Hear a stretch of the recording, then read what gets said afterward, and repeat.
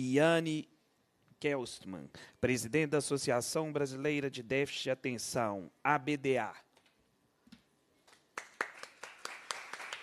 Depois eu vou.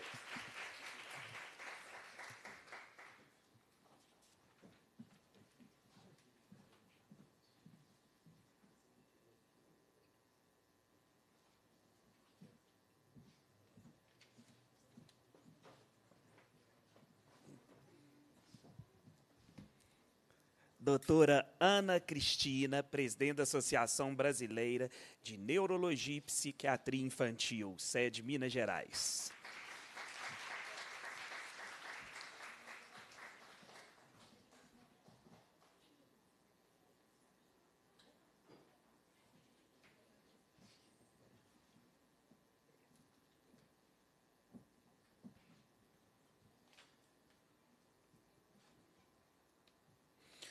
Dr. José Raimundo Lippe, presidente da Academia Mineira de Medicina.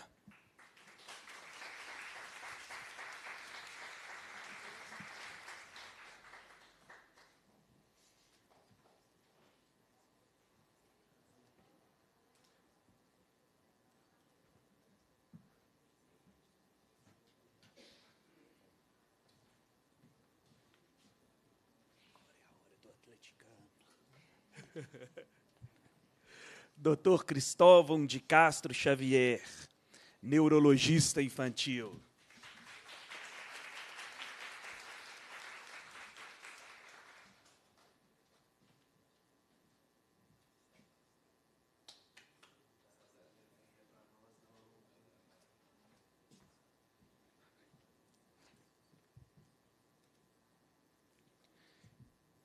Odília Lima de Almeida, representando as pessoas com TDAH.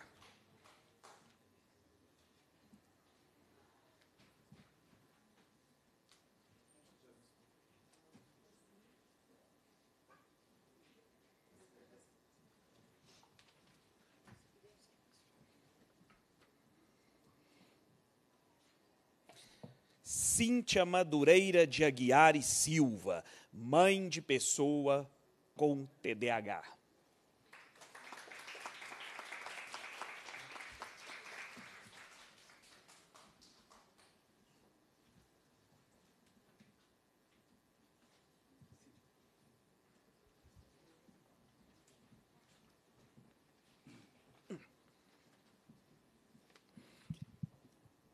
Registrar e lamentar até o presente momento a ausência de presença ou representação do secretário municipal de saúde, Jackson Machado Pinto, e também da Secretaria de Educação, naquela que foi convidada, a secretária professora Ângela Imaculada Loureiro de Freitas.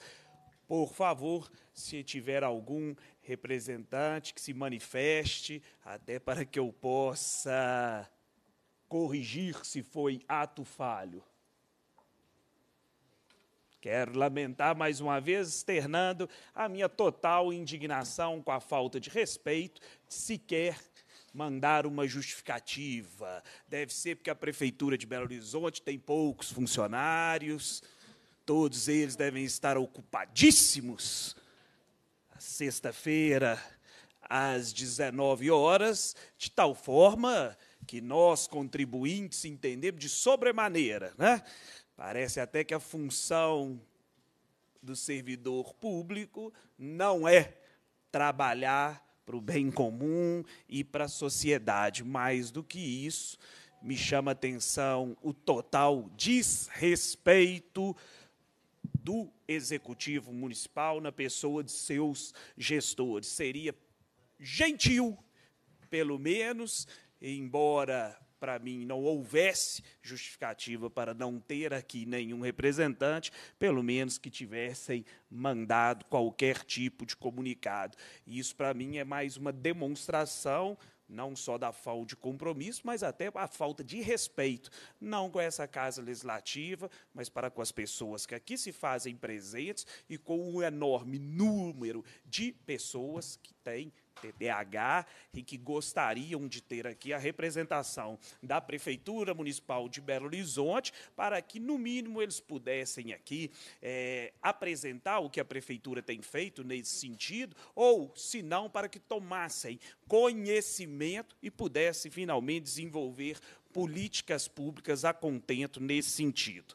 Havendo número regimental, declaro aberta a terceira reunião extraordinária da Comissão de Assuntos Municipais e Regionalização da quarta sessão legislativa ordinária da 18ª legislatura. Solicito aos deputados que registrem sua presença nos pós de habilitação. A presidência, nos termos do parágrafo 1 do artigo 132 do regimento interno, dispensa a leitura da ata da reunião anterior, considerando-a aprovada e solicita sua subscrição.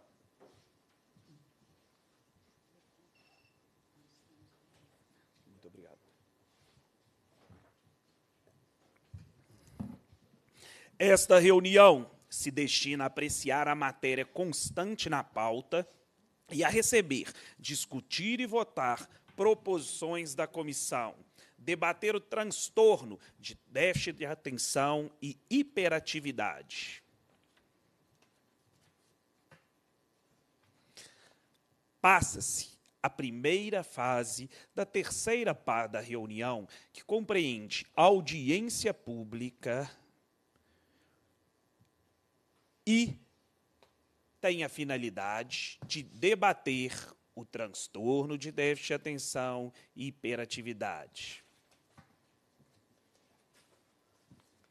Na qualidade de autor do requerimento que deu origem a esta reunião, passo a tecer minhas considerações iniciais.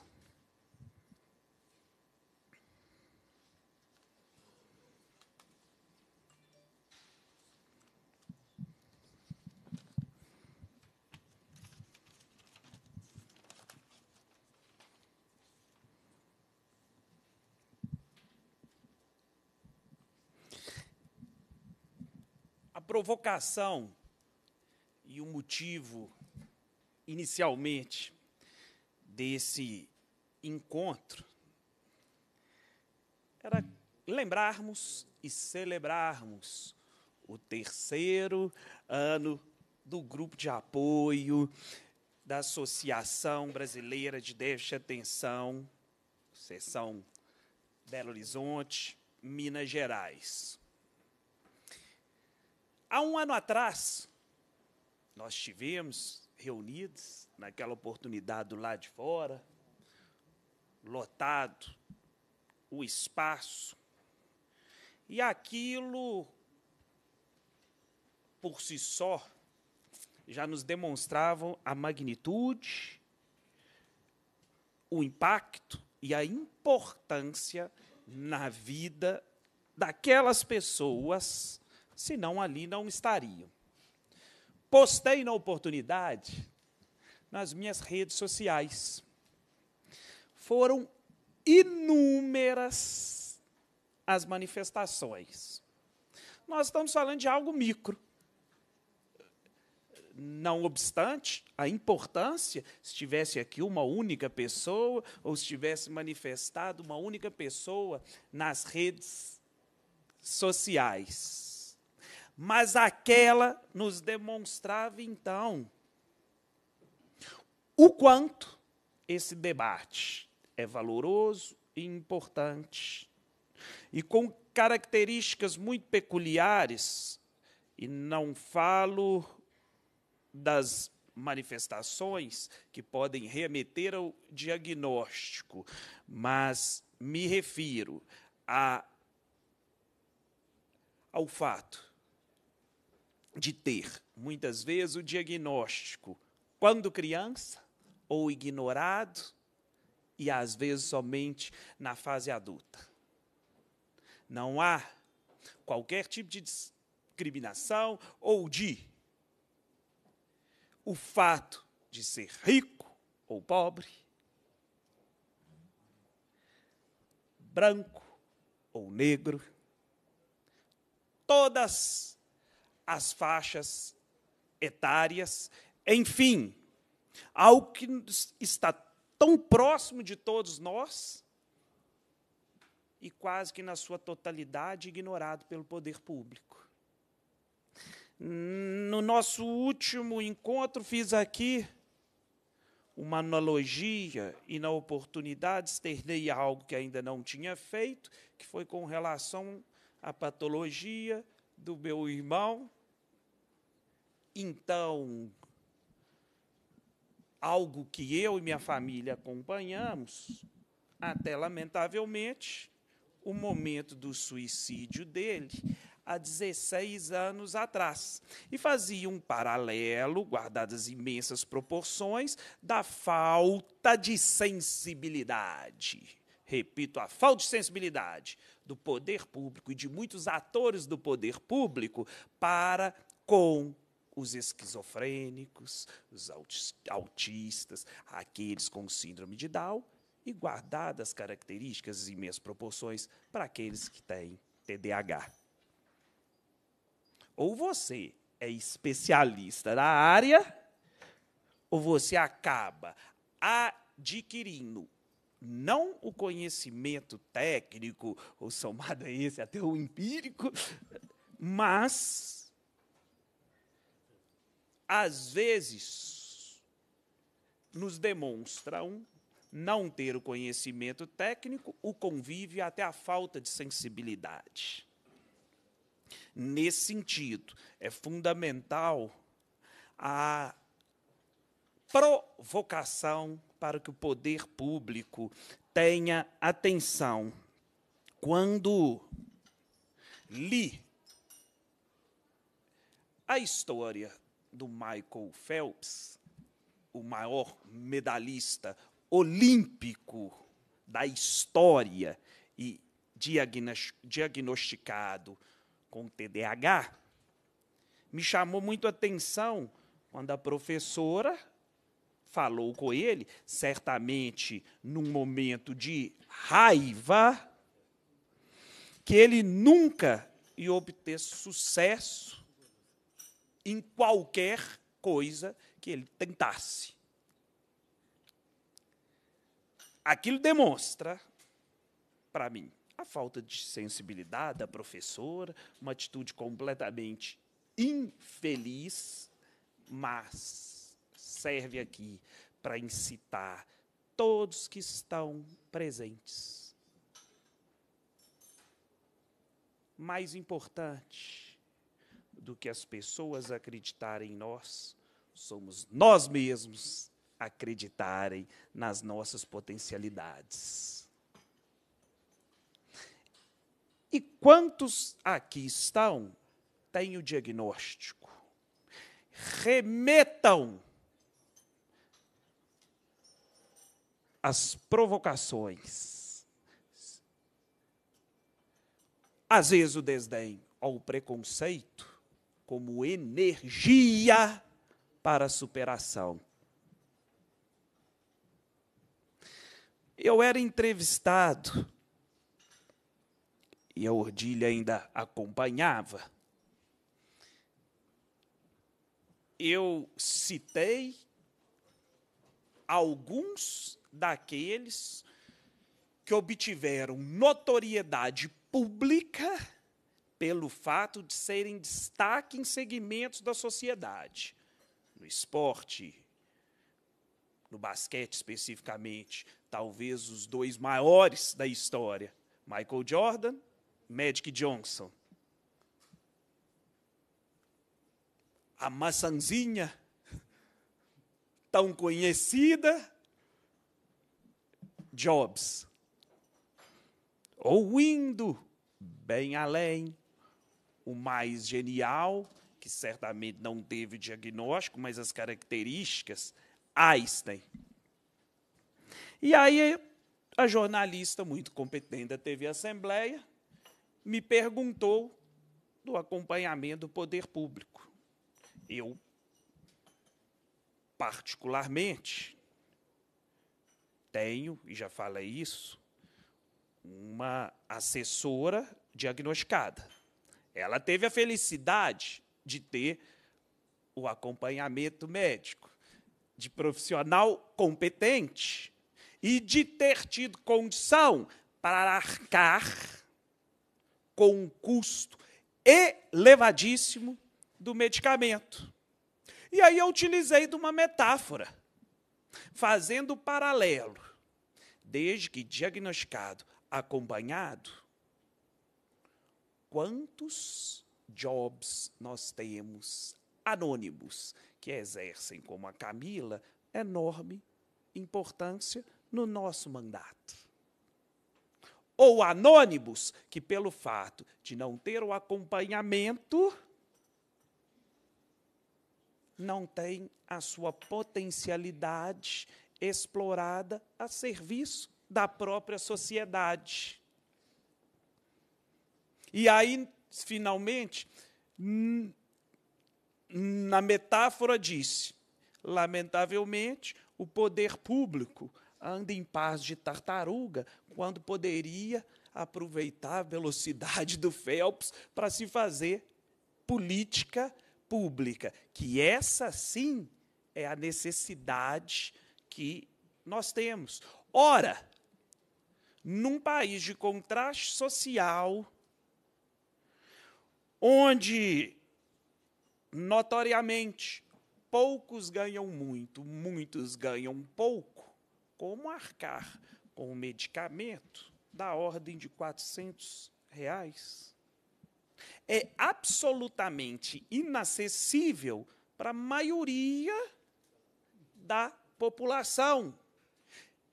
Se nós temos acesso a pesquisas que remetem que pelo menos 3% das crianças têm diagnosticado ou não a patologia, o poder público vedar os olhos para me ou é incompetência ou falta de vontade e de ordenar prioridade. Aliás, se tem uma característica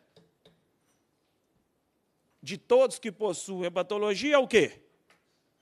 Saber entender aquilo que é prioridade dentro da sua falta de atenção. Falta de atenção mesmo, quem está tendo maior é o poder público. Isso sim é uma enorme falta de atenção de um acumulado de anos e anos e anos. Doutora, hoje eu, quando conversava com a Camila, fiz algumas perguntas para ela. Você sente alguma dificuldade? Ela me falou. Quando eu estou medicada, não. O que, que isso nos demonstra? Quantas Camilas a gente poderia ter? A resposta dela demonstra que o caminho não é tão longo assim como parece. E que, embora nós estejamos caminhando, poderíamos já ter transposto outros tantos obstáculos. Ela ainda foi além, e não tenho aqui menor temor em externar. Ela ainda falou: Fred, doutora Ana já falou que você também tem, só não foi diagnosticado.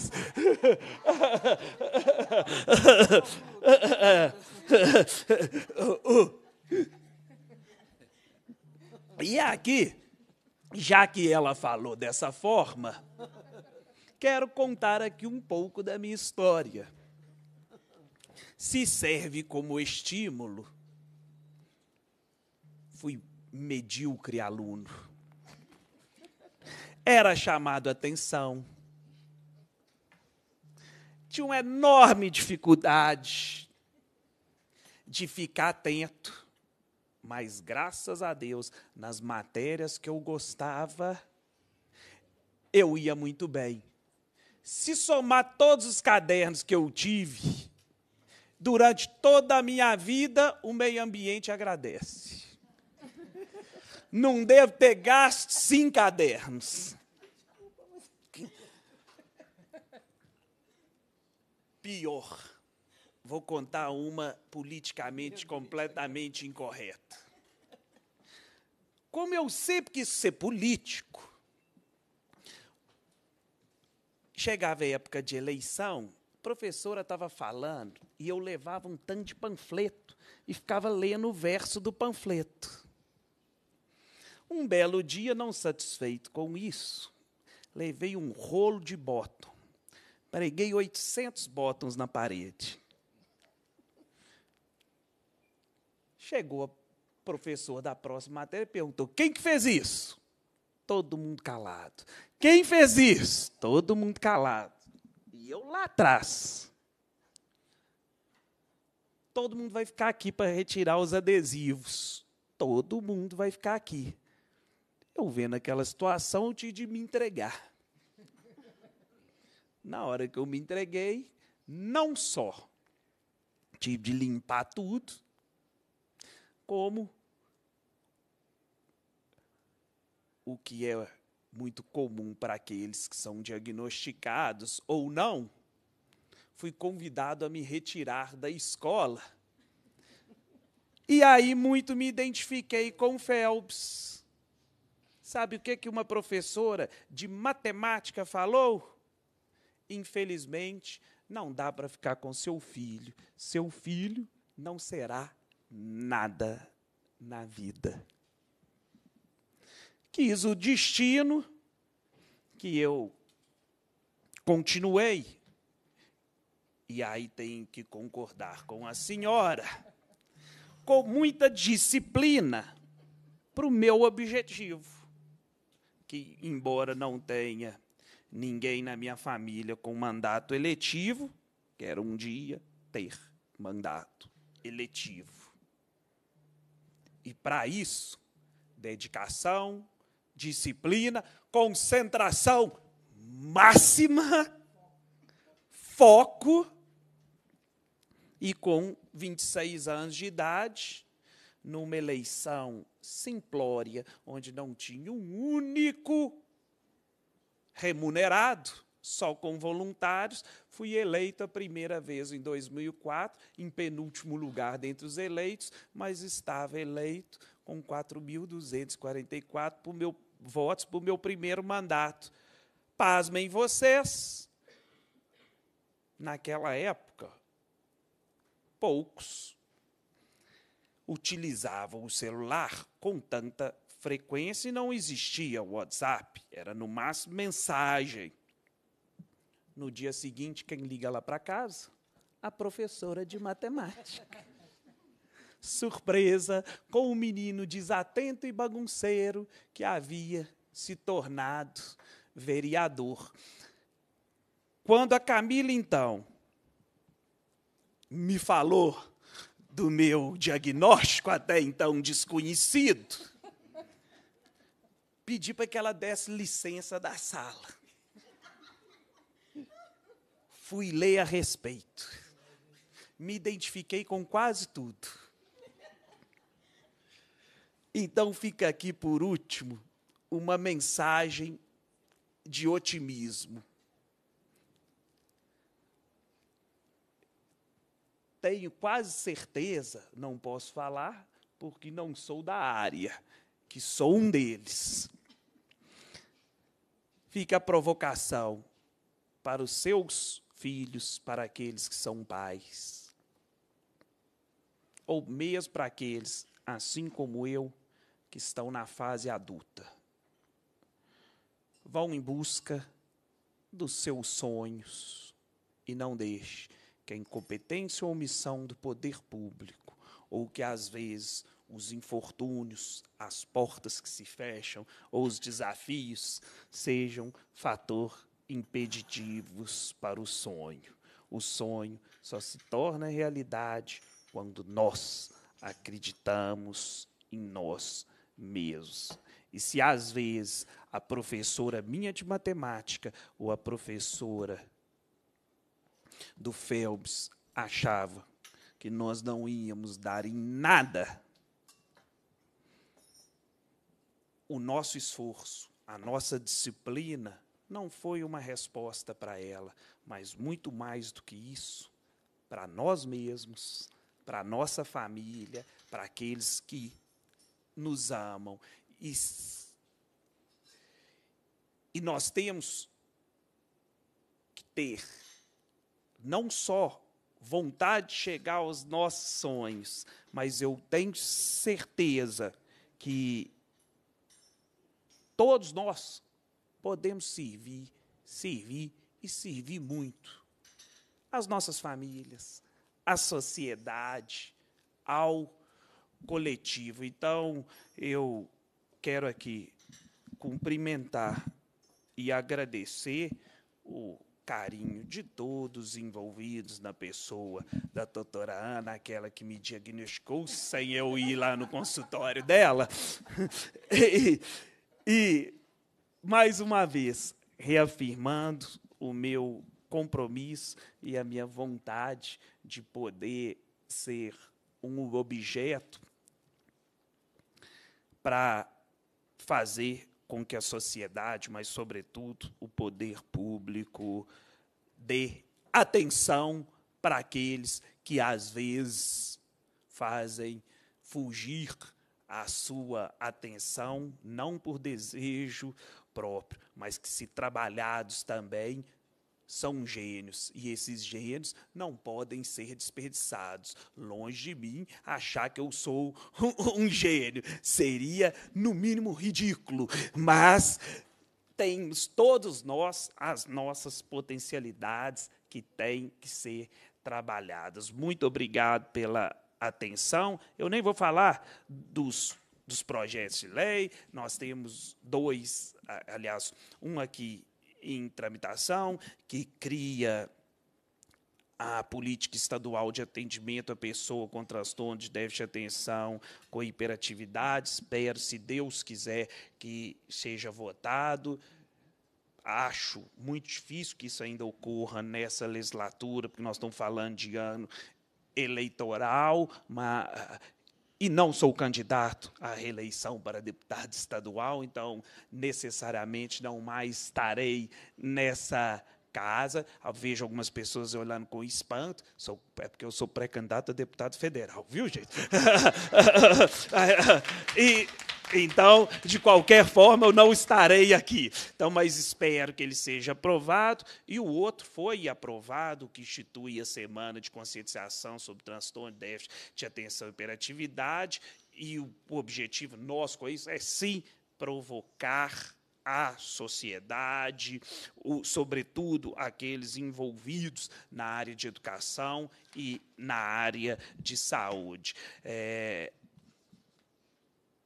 depois de escutarem apenas as minhas opiniões e um pouco do que foi provocado a partir da Camila, nós vamos ter oportunidade de escutar quem domina mesmo esse anjo. Vou passar a palavra para a doutora Ana.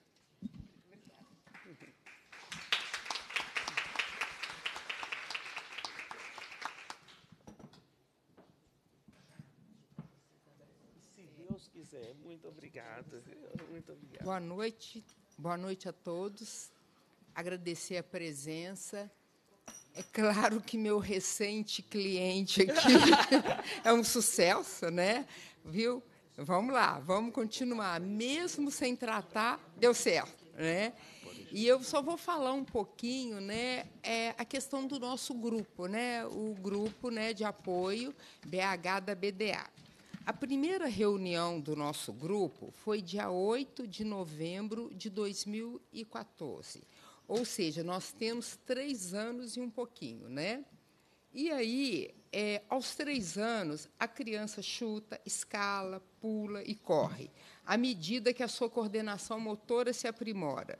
Então, o que, que a gente faz com essa criança? O ideal é levar para fora de casa e deixo aprimorar o ambiente, conhecer o ambiente.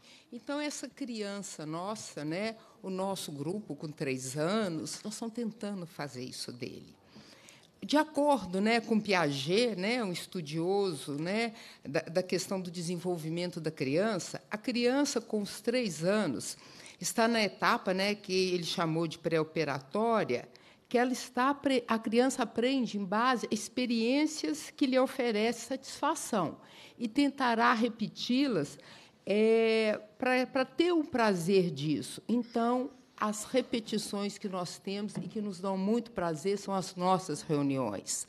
A criança de três anos está seguindo o desenvolvimento dela. Do ponto de vista afetivo, né, de acordo com Freud, não Fred, de acordo com Freud, a criança vive a fase edípica. A criança deseja o impossível de maneira poderosa, autoritária, egocêntrica e precisa de limite sempre de um casal presente e bem estruturado, para organizar-se e assim adquirir as regras sociais. Eu permito é, falar que o casal Cristóvão e eu, vamos lá, todos os, todas as reuniões no grupo de apoio, tentando dar uma organizada lá no grupo. As crianças de três anos começam a dizer não por quê? Porque querem se sentir aceitas, em parte para contrariar, ou seja, para tentar os adultos. Como fazer que essas, essas questões do não transformem no que a criança é naturalmente? Dando uma resposta para a criança por meio de uma família realmente presente, modelo de autoridade para ela. Caso contrário, ela cresce frágil, já que ninguém a enfrenta. Todos têm medo dela. Então, nós somos um grupo, já somos um grupo forte, não somos, Yanei? O grupo forte, uma família, né? como diz a Odília, a família TDAH. Então, por isso que nós estamos crescendo cada vez mais. Agora, só para terminar, de acordo com a Academia Americana de Pediatria, os marcos do desenvolvimento que são característicos dos três anos são ser capaz de tentar negociar soluções para os seus conflitos, se tornarem cada vez mais independentes, enxergando a si mesmo como uma pessoa inteira, envolvendo de corpo, alma, mente e sentimento no que faz, e muitas vezes né, a criança não chega a capaz de distinguir entre a fantasia e a realidade. E para ser capaz de tentar negociar soluções, nós contamos né, com o apoio né, do deputado Fred Costa, que há alguns anos já no, é, nos apoia. E eu tenho orgulho de falar que o primeiro estado que tem a semana de TDAH foi Minas Gerais e o Dia Mineiro do TDAH. Então, nós é, agradecemos ao deputado e, principalmente, a vocês que nos fazem é, estar tá aqui lutando porque nós acreditamos e vocês nos dão força para que isso aconteça. Muito obrigada.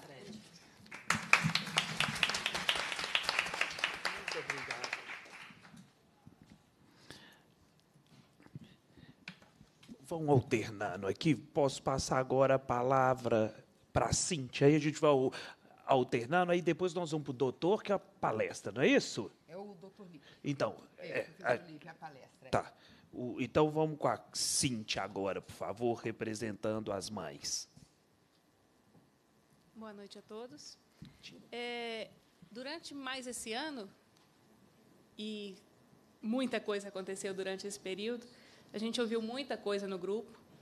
E o ano passado, uma mãe do grupo, ela passou no, no ela passou no nosso WhatsApp uma mensagem no Dia Mundial de Conscientização do TDAH, que eu gostaria só de lembrar. Essa mensagem ela viralizou na internet.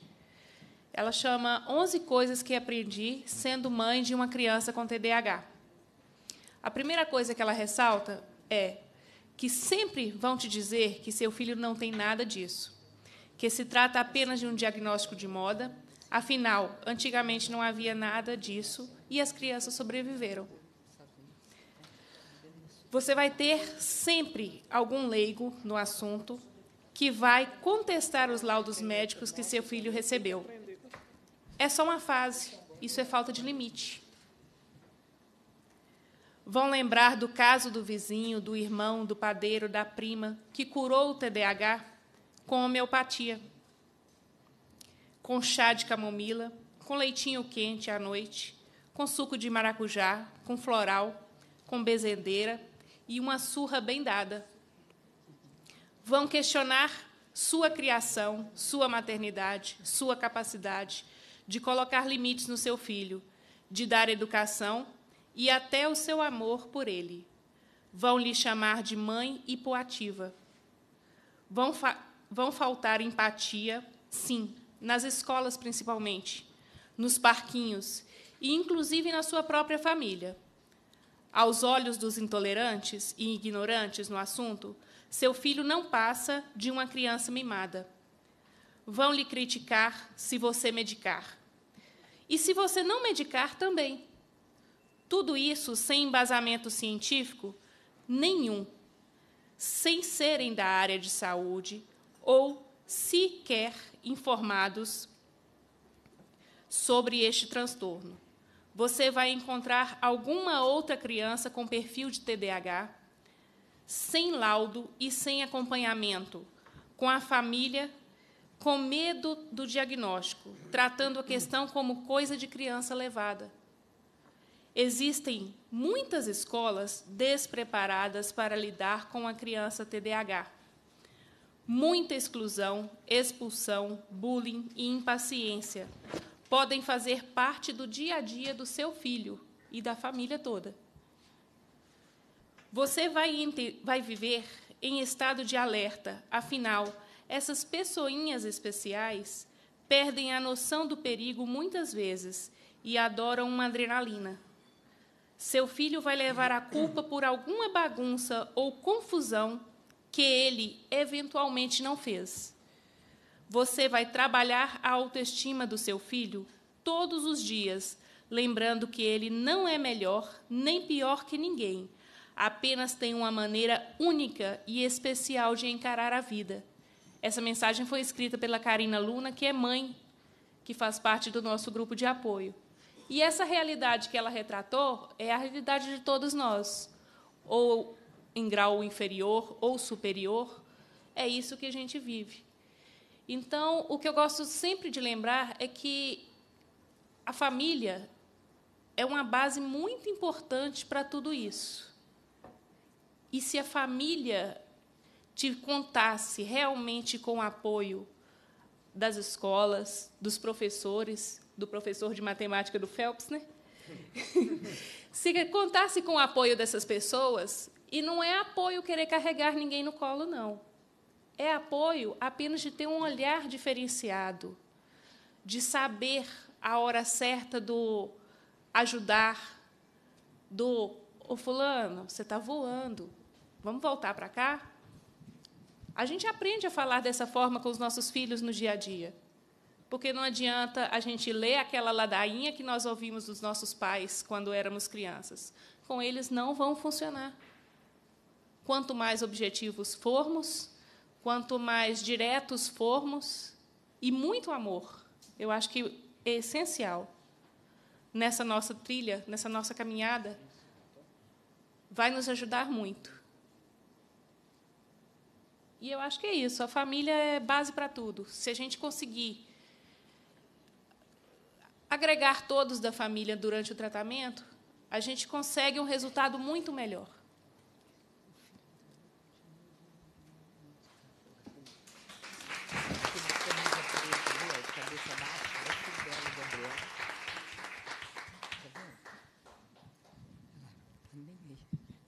Agradeço a Cíntia, passo a palavra para o doutor Cristóvão. É, boa noite a todos. É, mais uma vez, um prazer estar aqui em defesa de uma causa que nós temos lutado. A Cristina comentou que a criança né, de três anos, essa criança vem fruto do embrião anterior quando eu coordenava a residência de neurologia infantil lá do Infantil João Paulo II, o antigo CGP, eu percebi que nós estávamos faltando na formação dos nossos residentes uma melhor orientação nas, para o tratamento das crianças portadoras de TDAH. e pensei na gente criar um ambulatório específico com essa finalidade, né, que a gente, além de poder abrir a chance de atendimento especializado para um grupo de crianças, nós estaríamos formando os profissionais que iam difundir as atenções aqui pela cidade, pelo estado, pelo país, como nós temos residentes já espalhados para todo lado aí. É, eu tive o privilégio de, de ter um, um, laço profundo de amizade, de companheirismo de trabalho com a Ana Cristina, além de, de ligações familiares, facilitou formar essa dobradinha, né, que para compreender na assistência uma abordagem da visão da neurologia e uma visão da psiquiatria infantil. E o nosso ambulatório foi criado então nos idos de 2010 e já tivemos a oportunidade de formar inúmeros residentes.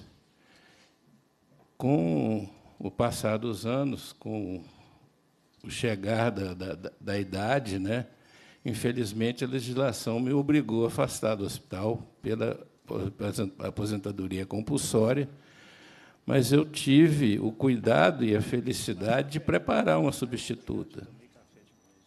Então, nós temos o ambulatório continua. Nós temos uma sequência. Hoje, a doutora Monalisa, que está aqui presente, coordena o ambulatório.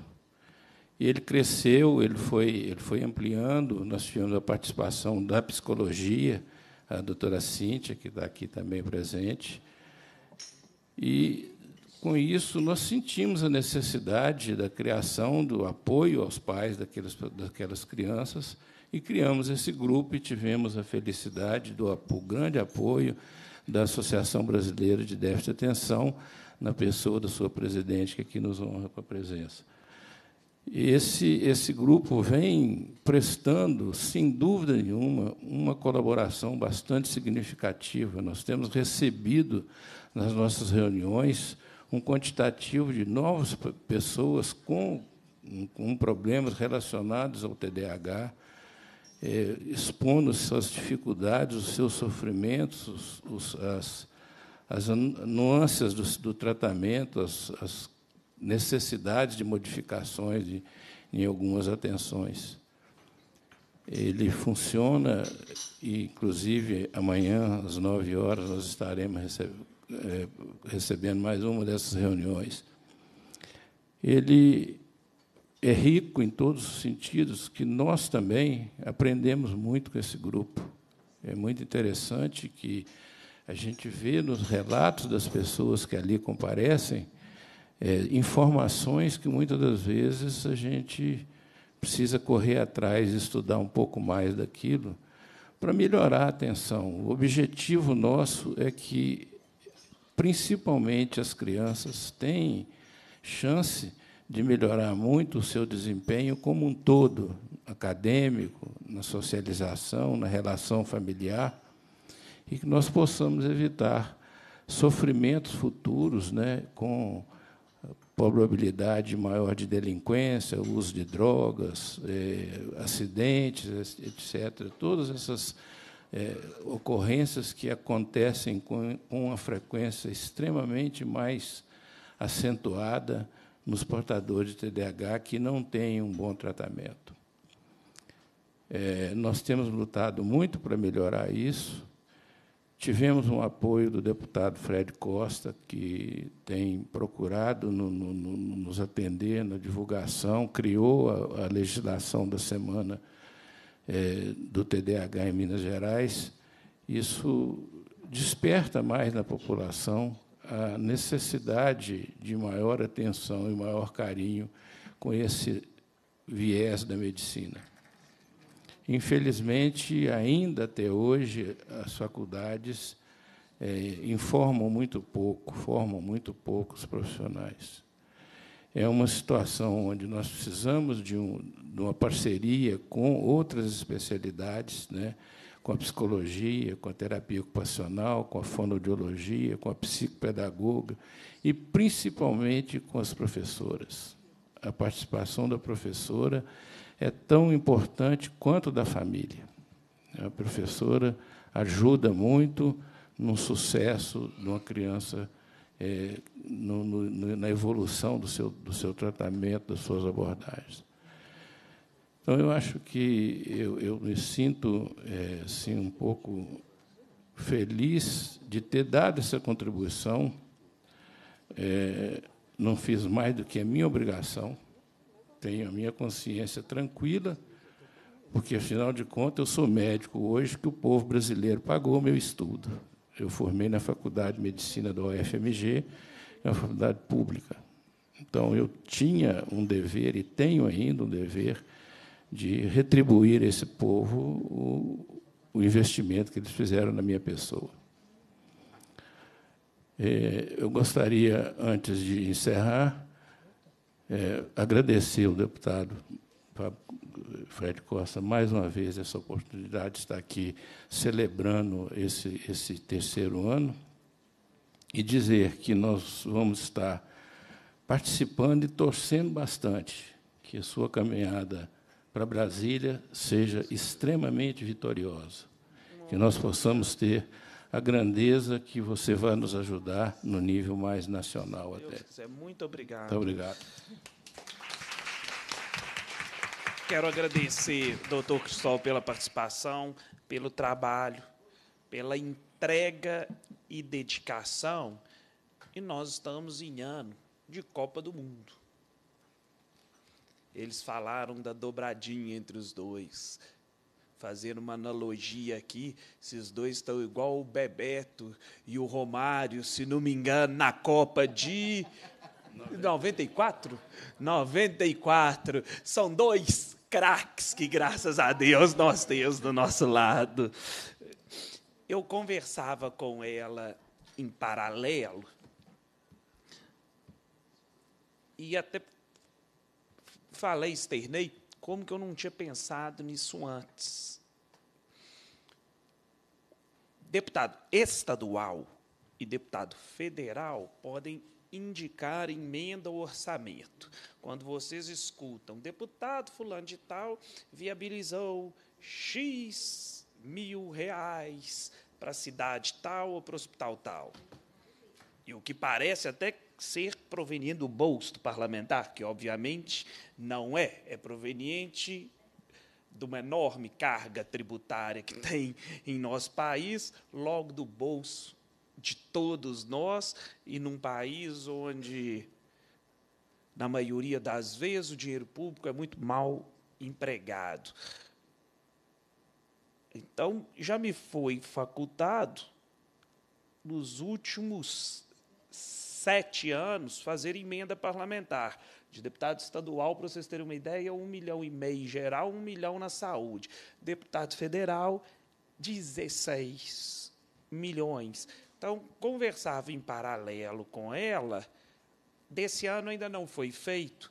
Eu vou fazer para o hospital para poder comprar o medicamento que já deveria ter sido comprado há muito tempo. Nós não vamos ter recurso suficiente para comprar para atender a todas as pessoas, mas ainda dá tempo de fazer em meia, então nós vamos fazer de pelo menos de 100 mil reais, que aí dá para comprar o medicamento que a senhora falou que está faltando. O... E a responsável pela, por fazer a emenda é exatamente a Camila.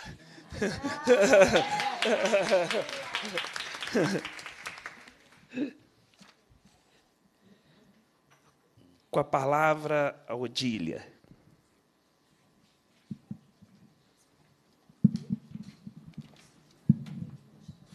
Olha, boa noite para todos. É, primeiro, cumprimentando a mesa, principalmente na pessoa do deputado Fred Costa. Agradeço em nome de todas as pessoas participantes, de todos os grupos, não é um grupo só. Nós temos, inclusive, um grupo de psicólogos, alguns psicólogos, psicopedagogos e professores interessados em conhecer. Pena que ainda é uma minoria muito grande porque eu lamento por ser professora e conhecer, mas eu vejo uma demanda de, comentei até na entrevista, 80% do pessoal da educação não conhece, 80% mais ou menos do pessoal da saúde não conhece. é muito triste a gente ver como na semana passada, me parece, uma mãe que foi é, não é daqui da cidade, foi mandada, vou dar o nome, a cidade de Contagem, foi mandada de Belo Horizonte para lá para procurar o CAPS. E quando essa mãe, com um filho de 10 anos, que já estava tomando medicamento, foi enviado para o CAPS, a pessoa que a atendeu, eu não sei se era médica, se era assistente social, psicólogo, quem foi, o menino de 10 anos dando birra que não queria tomar medicamento. E aí, quem tem o transtorno desafiador opositor fica mais difícil ainda. Né? Sem o medicamento é impossível lidar. E aí ela levou o filho, foi conversar, só que a pessoa não chamou a mãe separado. Você vê a despreparação. Conversou junto com a criança e deu à criança razão, que ele estava certo e não queria tomar remédio, que ela também não gosta de tomar medicamento, medicamento não faz bem, que era importante mesmo que ele estava certo a não tomar o medicamento, dispensou a mãe e o filho, gente. Essa mãe lamentou chorando no grupo. A gente recebe, às vezes, umas mães em off, elas procuram a gente no privado, a gente fica em pânico. Você não sabe o que dizer, o que fazer. Ah, você mora em Contagem, então Belo Horizonte não pode atender. A demanda é grande demais, mas poucos os profissionais. E quando o profissional te atende e fala que você não tem nada, então, isso é um lamento que eu faço aqui, em nome de todas as mães, tem mais outras aqui. Agradeço muito ao, ao, deputado por abraçar não só a nossa causa, mas agora mais essa do medicamento. Teve uma mãe há poucos dias que falou que.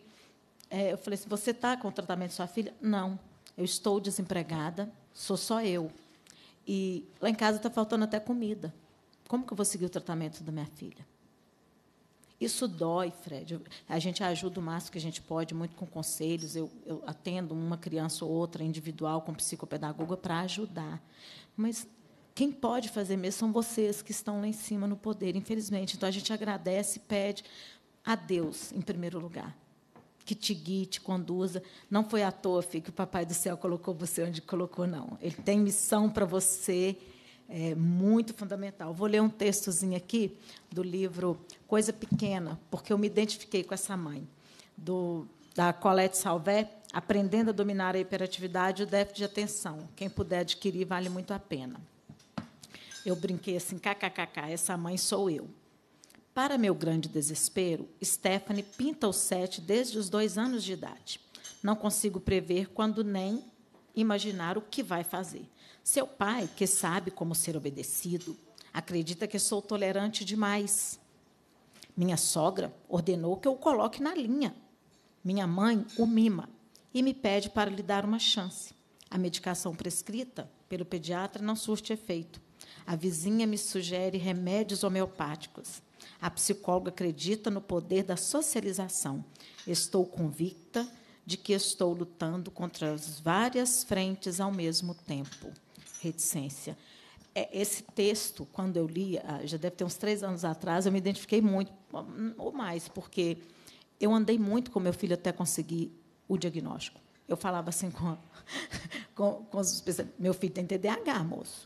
Doutor, meu filho. Não, seu filho não tem nada. Seu filho é comportado, seu filho é educado, está ali, ó, educadinho, jogando ali um joguinho dos birds ali, ó, que ninguém nem percebeu que está aí até agora. Mas, depois de quatro anos já de tratamento, gente, é o, o que o deputado fala e é verídico, o efeito da, da, do conjunto escola, pais, família e todos que lidam com a criança no entorno é uma psicoeducação, uma mudança na rotina, uma mudança na vida de todas as pessoas no entorno. O resultado é extremamente positivo e saudável. Quem ouviu minhas histórias há anos atrás, eu cheguei a bater muito no meu filho, porque a escola falava que era só falta de limite e disciplina da parte da mãe. Eu é que era errada, né? principalmente a mãe, que é sempre errada. Até eu chegar no doutora Ana, eu passei por 13 médicos, gente. E eu paguei muito médico particular. Não foi nem questão de falar que era do SUS. E a doutora Ana, quando chegou, eu falei: ele tem TDAH. Ela falou: o que você acha que seu filho tem? Eu falei: TDAH. Ela falou assim: é verdade. Seu filho, lembro como se fosse hoje. É verdade, seu filho tem TDAH. Já a doutora Monalisa estava logo no início, né, doutora? É, eu, é, o que você acha seu filho? Meu filho tem TDAH. Tem não, Odi. Não, você está equivocada. Seu filho, seu filho tem não. Por quê? Justamente por causa da família, gente. Hoje eu vejo mais do que nunca. Mesmo ele sendo TDAH nato, como eu, que sou hiperativa extremo, quando se tem uma família estruturada, com boa, é, é, a boa educação, uma rotina, limite, disciplina, muito amor, ele escuta eu te amo 24 horas. E quando faz uma coisa errada, é um aprendizado muito meu. Eu amo muito você, meu filho. Olha no olho dele. Mas a mamãe não ama nada de errado que você faz. E com medicamento ou sem medicamento, você precisa ser educado, comportado, obediente, com disciplina e limite em qualquer lugar, com qualquer pessoa. Ah, não tomei o remédio? Problema seu. Com remédio sem remédio, a gente tem que ter comportamento. Está no Taekwondo há quatro anos, tem cinco medalhas de ouro, gente. O Taekwondo foi assim, uma das melhores coisas. É, na quarta-feira, nós estivemos, inclusive, na, até estranhei a ausência do pessoal mesmo da prefeitura aqui, porque na quarta-feira nós estivemos na Câmara dos Vereadores, aqui em Belo Horizonte, para um projeto de lei também, onde foi instituído o Dia das Artes Marciais, a primeira cidade do mundo inteiro a instituir o Dia das Artes Marciais. E quando eu levei meu filho para o Taekwondo, foi o doutor Arthur Kumer, psiquiatra e professor na época do, do, da UFMG de Psiquiatria, que recomendou uma arte marcial. Aí eu não conhecia nada a respeito, investiguei e descobri que o melhor é o Taekwondo para o TDAH, porque ele é muito lúdico, ele ensina disciplina, limite, tudo dentro do, do, certinho, mas brincando muito com a criança. Então, meu filho se deu muito bem. Nunca quis ir. Até hoje, na hora de sair de casa, não quer ir, não quer ir, não quer ir. Aí a mãe fica né, negociando, dando nó em pingo d'água, porque eu vejo o desenvolvimento que ele teve. Hoje eu tenho um filho que é 100% diferente da criança que, dos três aos, aos quatro anos. Mas a família muitas vezes até quer tratar, mas sem esse apoio, sem essa lei aprovada, a gente não consegue nada. Porque nas escolas aqui mesmo de Belo Horizonte, a gente tem ouvido muitos absurdos dentro da escola. Eu agradeço que a escola que ele está, a psicóloga que trabalha dentro da escola tem o TDAH e ela tem um filho que também tem. Então, da mesma forma do Fred com a Camila, olham para a gente diferente. Então, é isso que a gente pede, reiterando o nosso pedido em nome de todos do grupo, viu, gente? Torço por todo mundo demais. Essa luta não é minha, essa luta é nossa. Porque o filho de vocês é problema meu também. A gente tem mania de falar, não, filho do outro. O professor fala muito isso, viu? Não, filho é problema, quer estudar, quer, não quer estudar, não quer. Mas hoje, depois de estudando muito sobre o TDAH, como diz a doutora Ana, virei especialista nisso, aprofundei mesmo e continuo estudando. É, o que, que eu descobri? 30% dos homens presos hoje, gente, isso é de 2016, no Brasil, foi feito no estado do Paraná essa pesquisa. 30% dos homens acima de 18 anos na cadeia hoje têm o TDAH com outras comorbidades, que aí vem o, o TOD, que é o transtorno desafiador opositor, quando não tratado na infância, a partir de certa idade ele vira o TC, que é o transtorno de conduta. Aí vai para as drogas e companhia.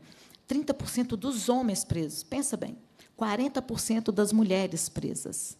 Aí você, eu paro e penso, se a gente tratar de todas as crianças hoje, deputado, vamos pensar, se a gente tratar de todas essas crianças né, que, que têm, a partir aí de 3, 4, 5, 6 anos que foi identificado, até a idade de 18 anos, quantos crimes, quantos transtornos e problemas em todas, em todas as camadas da nossa sociedade nós poderíamos evitar.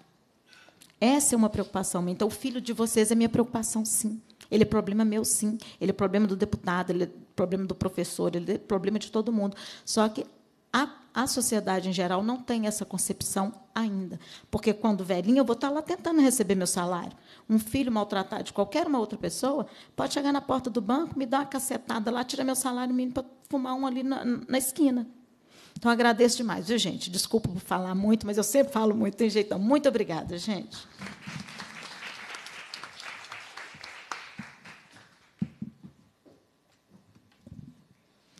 Quero agradecer Odília também pelo carinho e atenção comigo. É... Não poderia passar despercebido o laço laranja, os balões laranja. Coincidentemente, as cores que eu uso desde o início é o laranja com o azul e ainda tem algo que nos une também, que é o amor pelos animais. E na defesa e proteção dos animais, nós também usamos o laço laranja. Com a palavra, o doutor José Raimundo.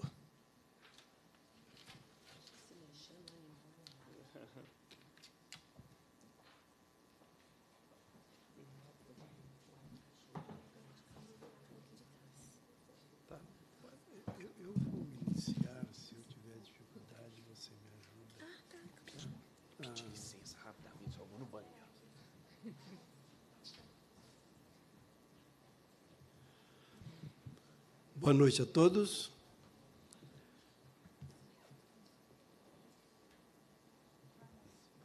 Eu queria agradecer, em primeiro lugar, a Cristina e ao nosso grande neurologista Cristóvão, que fizeram a gentileza de convidar-me para participar dessa comemoração dos três anos do grupo de apoio da Associação Brasileira de Déficit de Atenção. Eles são muito gentis comigo,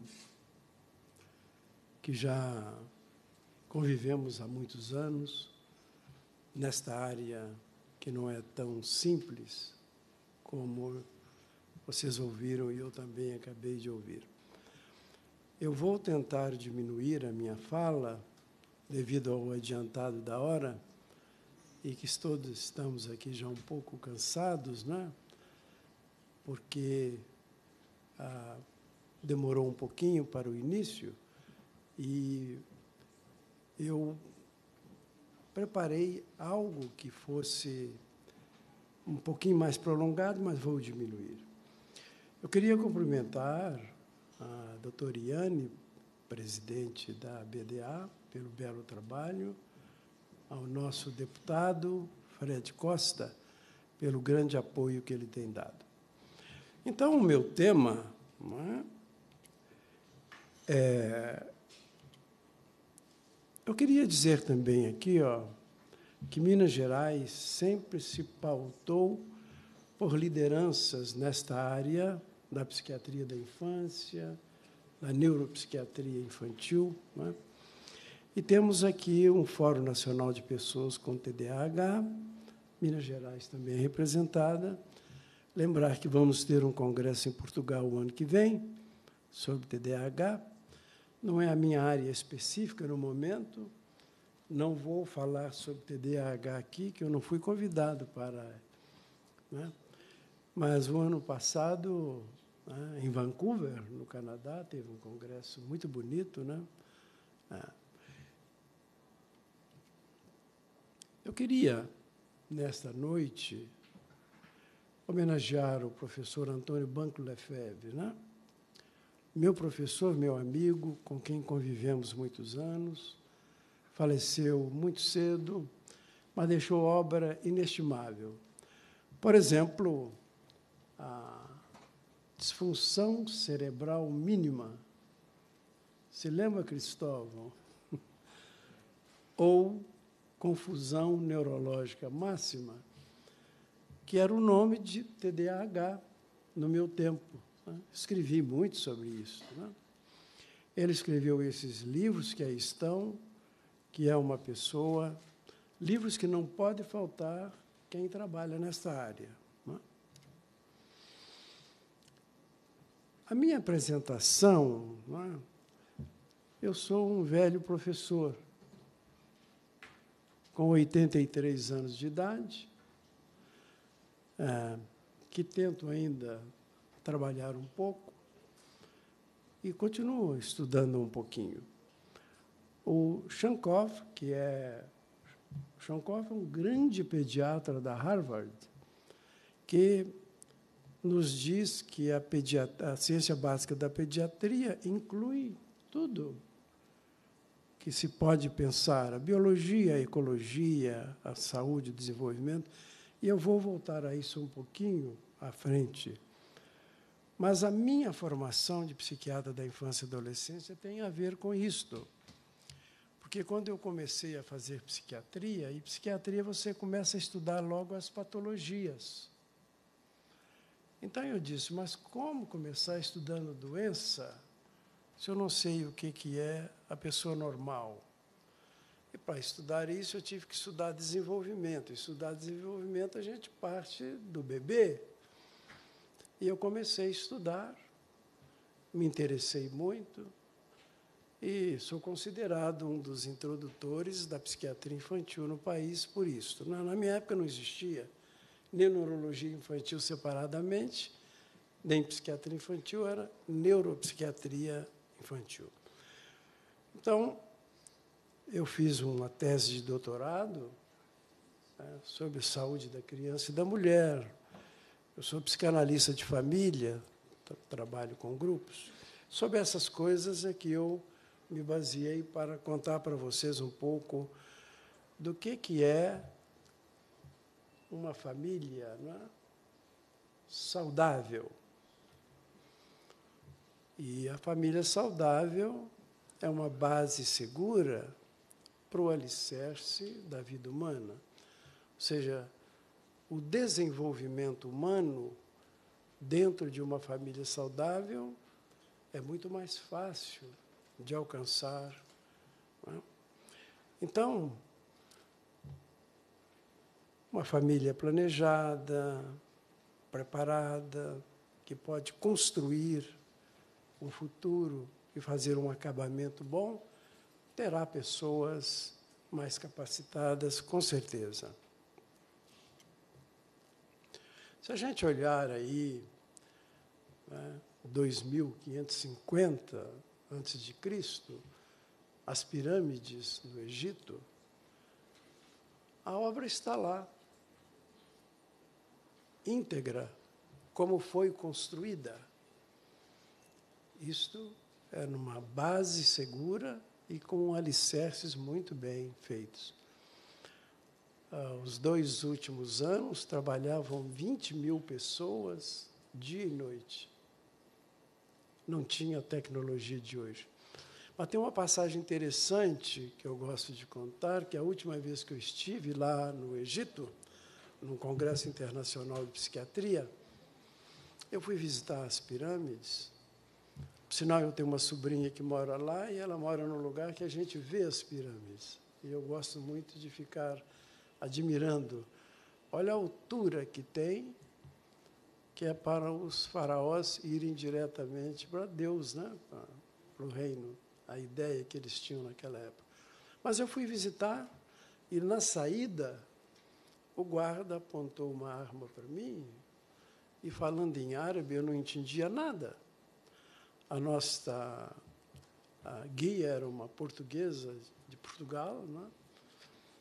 Então ela chegou lá e resolveu tudo. Aí eu, o moço deixou eu sair.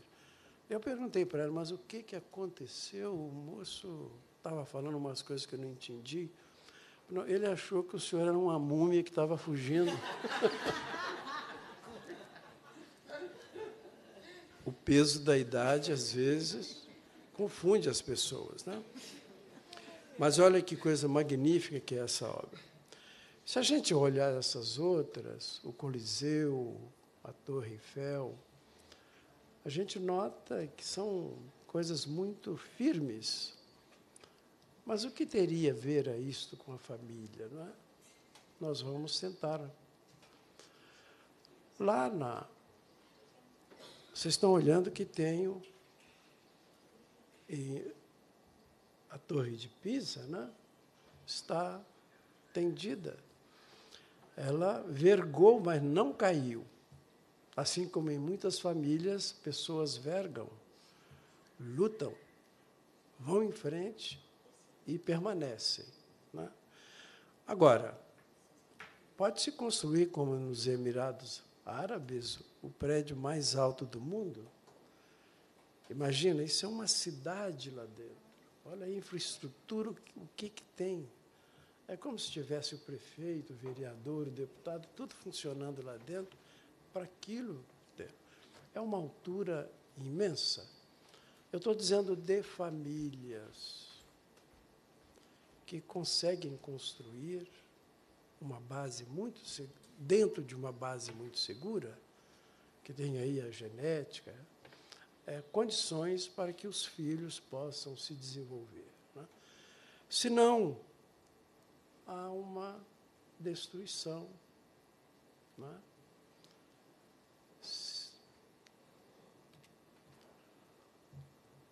Se a família não é, não é um bom alicerce, a genética pode predominar. E muitas patologias podem acontecer.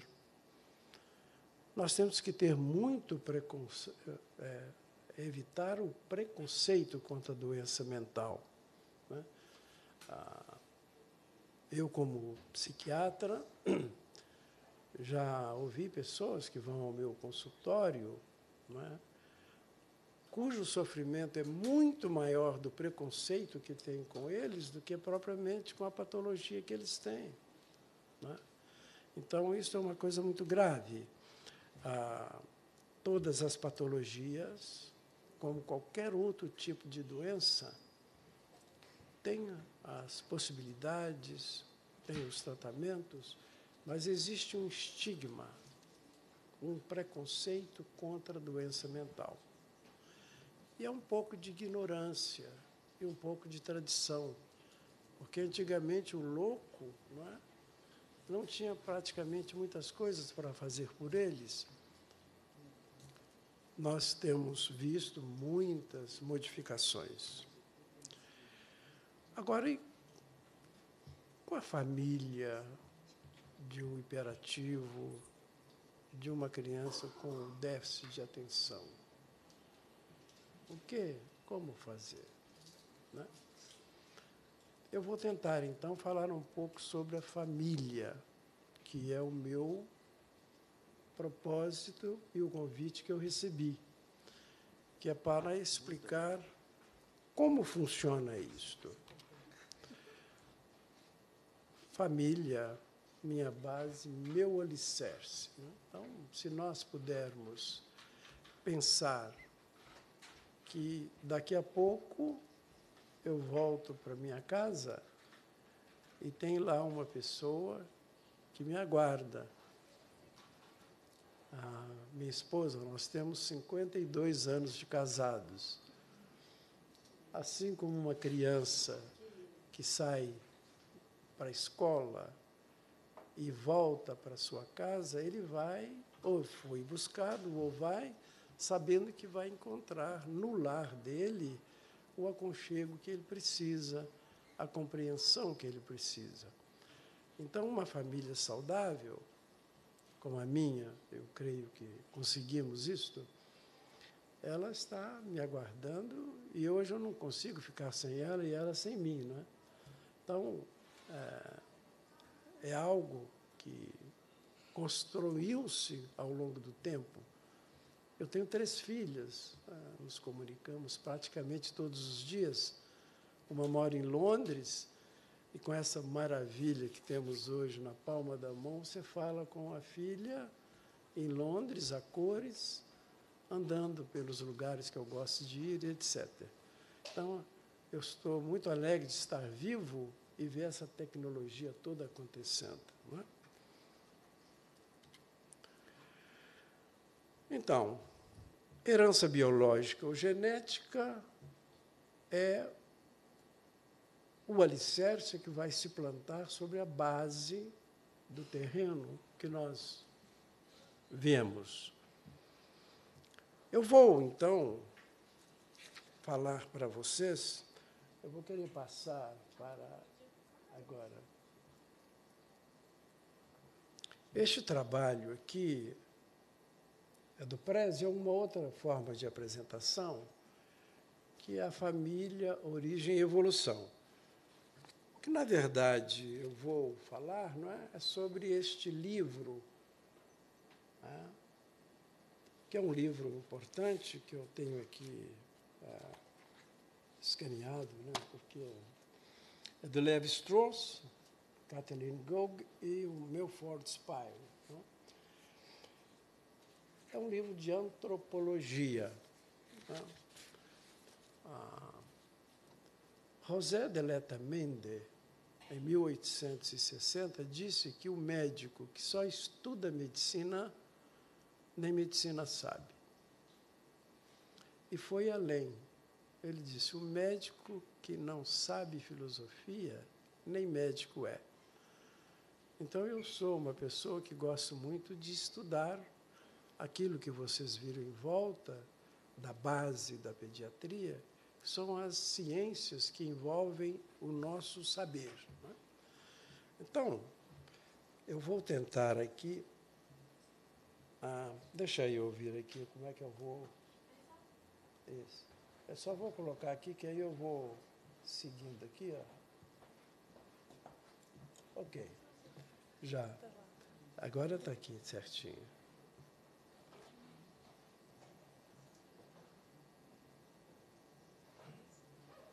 O meu computador é um Mac, viu? Que um é, bastante comprometido nesta área por um grande criador. Né? Então vocês imaginam que foi uma pessoa com transtorno de hiperatividade que construiu uma máquina que essa aqui, por exemplo, eu domino menos. Eu já trabalhei com PC, mas hoje eu, o ratinho aqui, o mouse, é, então, pensava-se que a família do passado era selvagem, cometia barbárias, mas a civilização. Ah, obrigado, viu? Então eu vou falar sobre rapidamente sobre este livro aqui, né? Obrigado. Então vamos lá.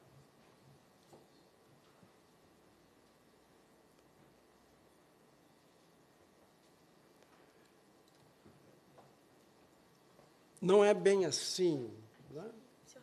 Eu posso, só aqui por aqui. É? Tá ok.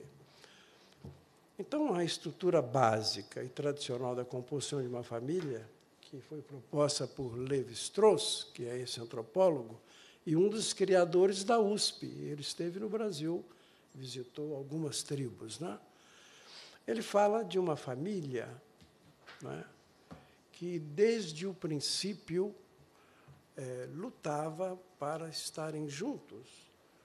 Mas no mundo, em volta do mundo todo, várias possibilidades aconteciam. Então, a origem da família e sua transformação ao longo do tempo, eu não vou poder descrever como eu gostaria, como eu lhes disse, o nosso tempo está um pouco avançado, não é? Mas a história da Grécia, da Roma antiga, da Idade Média, tinham modelos de família diferentes. Porque esse modelo de hoje, pai, mãe, filhos vivendo numa casa, ele não foi sempre assim. Ele foi sendo. É, se transformando num tempo. Embora o Levi-Strauss não seja evolucionista, é, ele traz contribuições magníficas sobre o tema. Vamos ver a evolução do papel da mulher. Hoje a mulher né, trabalha fora, mas continua sendo dona de casa. Antigamente ela ficava em casa e o marido saía para guerrear ou para trabalhar. Eu me lembro que eu era menino, as minhas irmãs estudavam é, bordado, tocava piano, para poder casar e serem donas de casa. Né? Nenhuma das minhas irmãs se formaram. Bom, mas também eu estou com 83 anos. Naquela época era assim mesmo. Né? A maioria das mulheres não estudavam. Então, os caçadores primitivos eram um matriarcado. Os homens saíam para caçar e para fazer as suas coletas. As mulheres ficavam em casa. Na Revolução Industrial, né, como vocês estão acompanhando aí, há uma diferença. Né? O, o homem ele passa a ser aquele que vai compartilhar mais ou menos com a mulher e no, no na pós-revolução industrial do capitalismo, então as coisas começam a se equilibrar. É? Eu estou correndo, hein? Porque, como eu lhes disse, é muito grande e eu não terei tempo. A mudança do papel do homem. Homem, alfa, beta e gama. Então, vocês vão ver que tem uma classificação com a letra grega. Né? O homem alfa. O homem alfa é o dono da casa, é o que manda, é o que trabalha, né? E a mulher é, fica na dela lá, né? como antigamente. O homem beta é o homem passivo, é a mulher que manda, é a mulher que determina. Né? Mas hoje, o homem gama, ele não perdeu o caráter masculino de ser o coordenador da casa, mas a mulher tem o mesmo papel. E o homem também ajuda nos afazeres. É? Eu me lembro das minhas filhas, eu dava banho nelas, eu trocava a fralda, eu punha para dormir. E na minha época era complicado, porque se você começava a namorar e queria sair para encontrar com a namorada, era um problema. Você é camisolão, você não fica aqui tomando cerveja, você tem que conversar com a, com a e depois de casado, então, para muitos homens a separação se dava porque eles eram é, atraídos pelo, pelo próprio grupo que não admitiam que, existisse um homem camisolão. Né? É.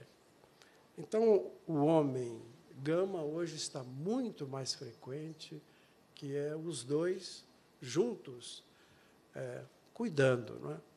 Imagina numa casa com hiperatividade, que só a mãe que tem que fazer esse papel de cuidados. Que o homem fala, não, isso é, você é que leva no médico, você que dá o remédio, o meu papel é trabalhar, é dar o sustento para casa. Não funciona assim. Né? Vamos ver aqui. A estrutura familiar ao redor do mundo. Né?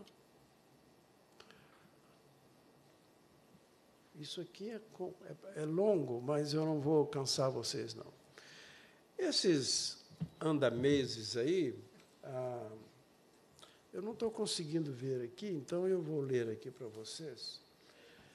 Tribo como a, os andameses das ilhas do Oceano Índico, também os fueguinos da extremidade meridional da América do Sul, os mambiquara do centro do Brasil e etc., vivem em pequenos bandos seminômades que carecem ou possuem uma organização política muito simples, que tem um nível tecnológico muito baixo. Alguns destes conhecem tecidos, a cerâmica, a construção de choças, não têm outra estrutura social para além da família. A maior parte das vezes é baseada na monogamia. Ou seja, monogamia é o casamento com uma pessoa só. Não? O investigador identifica facilmente os casais estreitamente associados por laços sentimentais e de cooperação econômica, assim como pela criação dos filhos nascidos dessas uniões. Essa supremacia das famílias nas duas extremidades da escala da evolução social é uma constatação de que, primitivamente, já existia união entre eles. Só que os homens saíam para trabalhar. Não? Há um outro grupo que, na costa do Malabar, na Índia, no passado a atividade guerreira impedia os Nayar de fundarem uma família. Eles eram guerreiros mesmo. O casamento era pouco mais que uma cerimônia simbólica, pois não criava laços permanentes entre um homem e uma mulher. De fato, as mulheres casadas estavam autorizadas a ter tantos amantes quantos quisessem. Ele ia guerrear e ela era livre. Não havia um compromisso de casamento. Os filhos pertenciam exclusivamente à mulher. E ela fazia, então, o que desejava. Mas recebia quantos maridos, entre aspas, ela quisesse.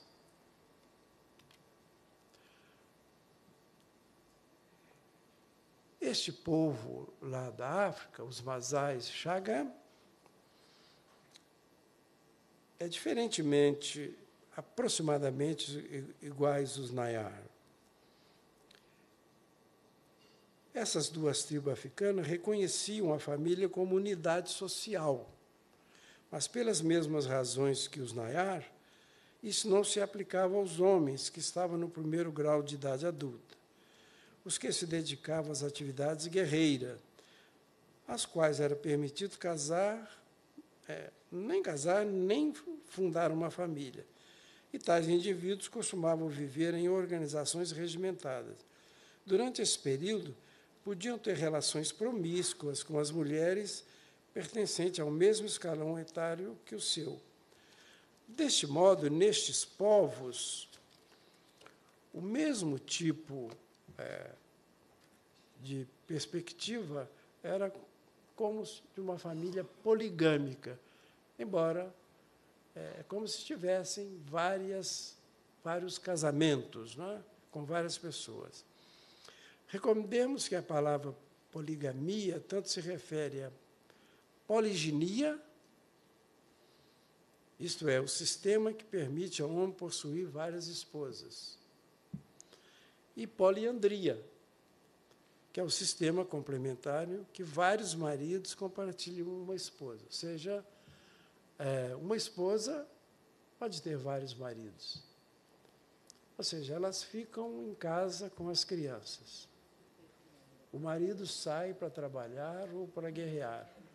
E ela recebe outros maridos que convivem. Não? É? Eu não estou podendo explicar direitinho, eu vou até passando aqui esse pessoal da Austrália, esses aqui no Brasil, ah, é muito interessante.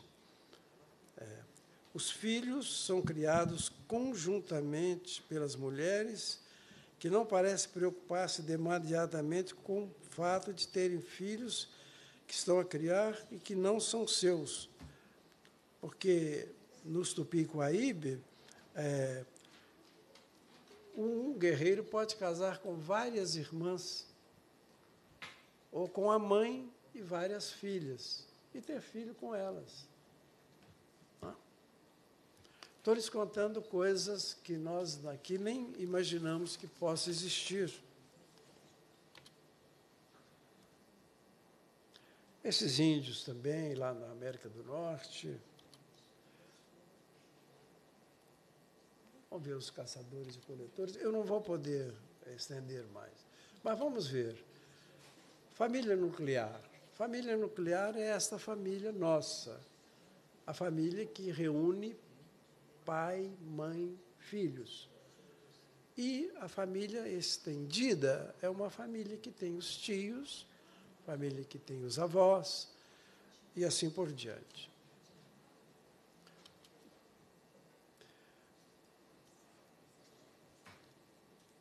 São os pré-requisitos universais para a sobrevivência de uma sociedade. Se não existir família, como é que vai haver a reprodução? E como vai haver? A reprodução pode até existir sem família, mas sem a organização que uma sociedade exige. Né? É, por exemplo, no Israel tem os kibbutz, que eu não vou entrar em detalhes aqui. Vamos ver agora. Casamento civil igualitário. Na Holanda, Argentina e Brasil, que, que aconteceu? Casamento civil não é religioso.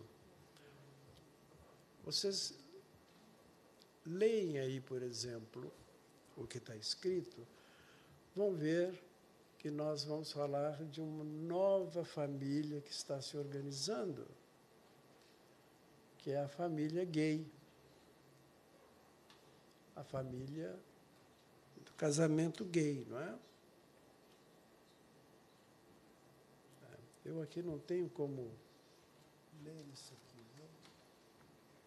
Eu gostaria de ler, porque eu não consigo ver ali. Você me ajuda? Porque isso é muito importante.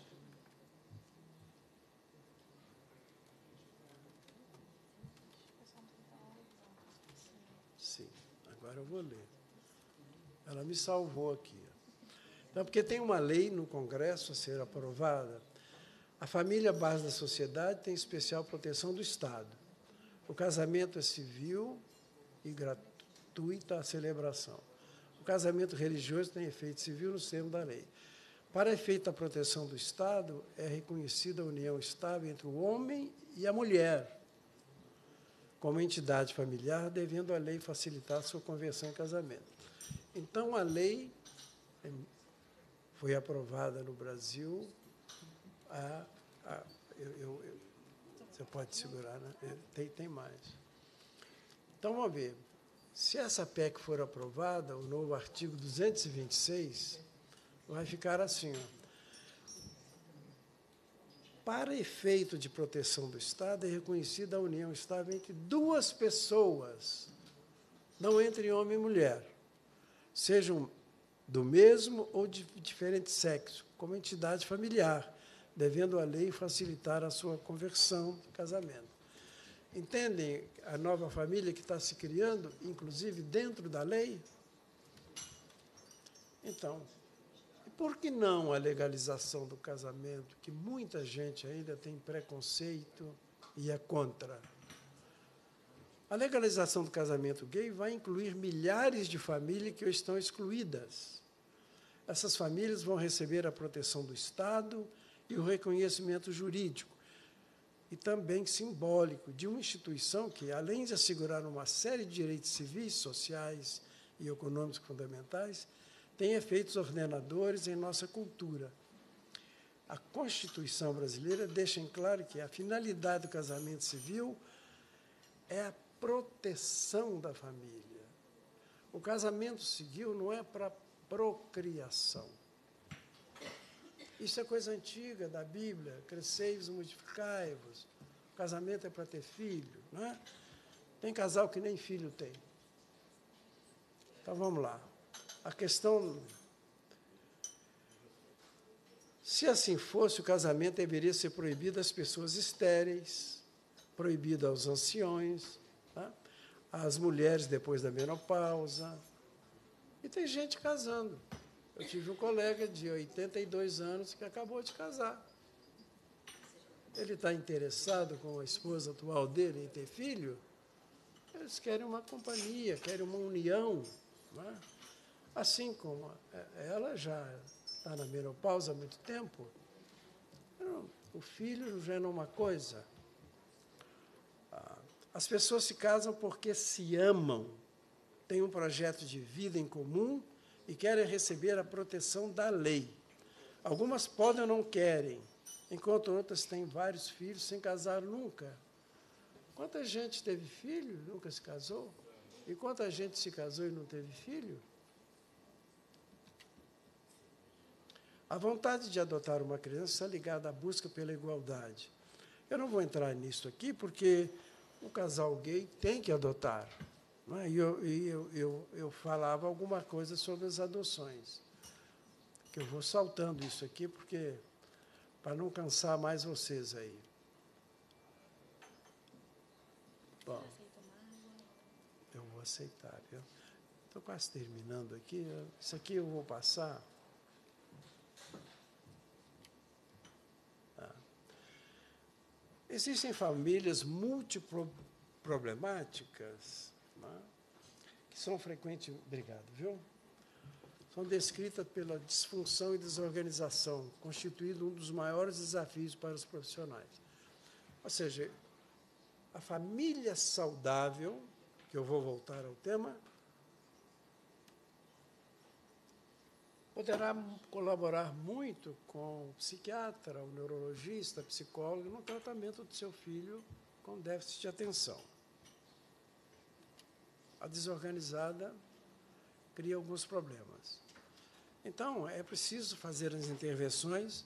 Queria elogiar o trabalho da Cristina né, com o Cristóvão, que há cinco anos se dedicam num ambulatório a atender essas pessoas hoje voluntariamente continuam, e também atendendo as famílias e as pessoas com o síndrome, né? Bom, acho que isso aqui está bom. Agora vamos voltar lá, né? Obrigado, viu? Eu vou terminar daqui a pouquinho, eu volto aos meus slides.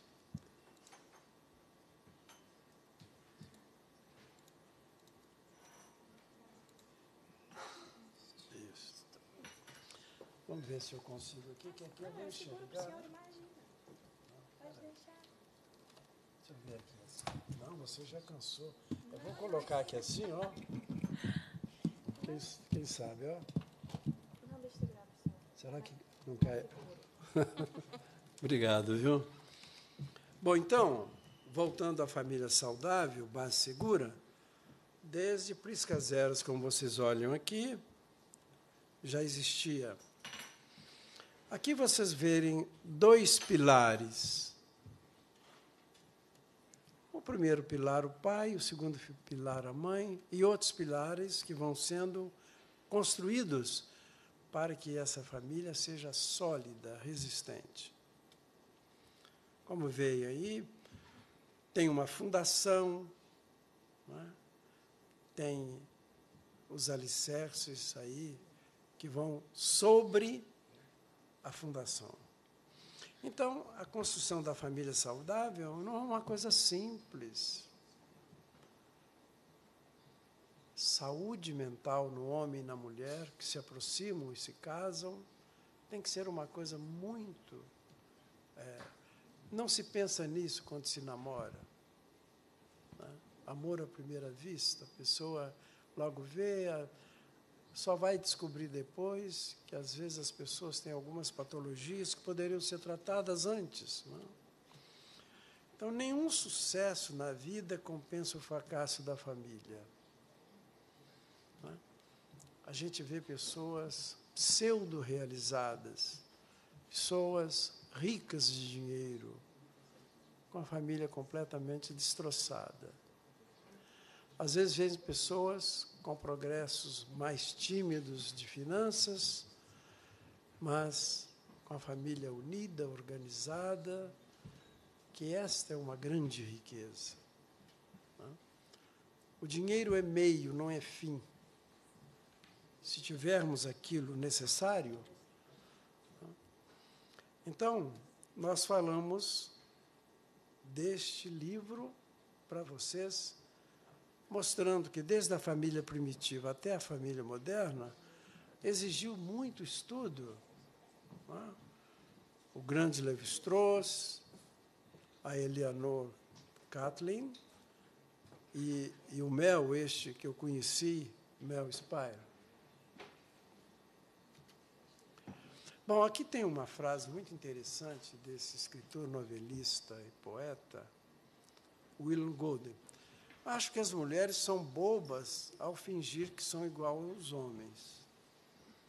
Elas são e sempre foram muito superiores. Tudo que você dá a uma mulher, ela vai tornar maior. Se você der o seu esperma, ela lhe dará um bebê. Se você lhe der uma casa, ela lhe dará um lar. Se você lhe der mantimentos, ela lhe dará uma refeição. Se você lhe der um sorriso, ela lhe dará seu coração. Ela multiplica e amplia o que é dado a ela. Então, se você fizer alguma merda, esteja pronto para receber uma tonelada de merda, porque ela devolve tudo ao dobro. Essas palavras não são minhas, hein? são do poeta William Golding. Mas eu considero a família, com a sua evolução? Eu trouxe de 1983, porque eu sou lá de 1935, é muito diferente, senão vocês nem iriam compreender. Mas é maravilhoso ver. Só que antigamente eles conversavam em casa. Hoje, cada um com seu iPhone, um não fala com o outro. Isso vai é porque nós estamos com essa nova tecnologia, estamos aprendendo. Ela vai chegar no seu lugar depois e ninguém vai ficar tão atraído assim. Então, essa base aqui, biológica, ecológica, é, a saúde e o desenvolvimento, eu vou deixar para comentar numa outra situação que eu chamo área do corpo, área do mundo externo e área da mente. E vou explicar um pouquinho para vocês o que, que é isso. Ah, nas aulas que eu dava lá na Faculdade de Medicina da USP, Bases Humanísticas da Medicina, eu dava aula sobre vocação e identidade do aluno de medicina. Então, toda conduta humana se manifesta através de três áreas. Toda. Por exemplo, a criança hiperativa, ela manifesta sua hiperatividade não só pela área motora, pela área do mundo externo, né? pela área da mente também, e essas três áreas têm que ser estudadas, porque uma integração delas é que fará a compreensão. Por exemplo, na minha clínica, eu tenho uma equipe interdisciplinar.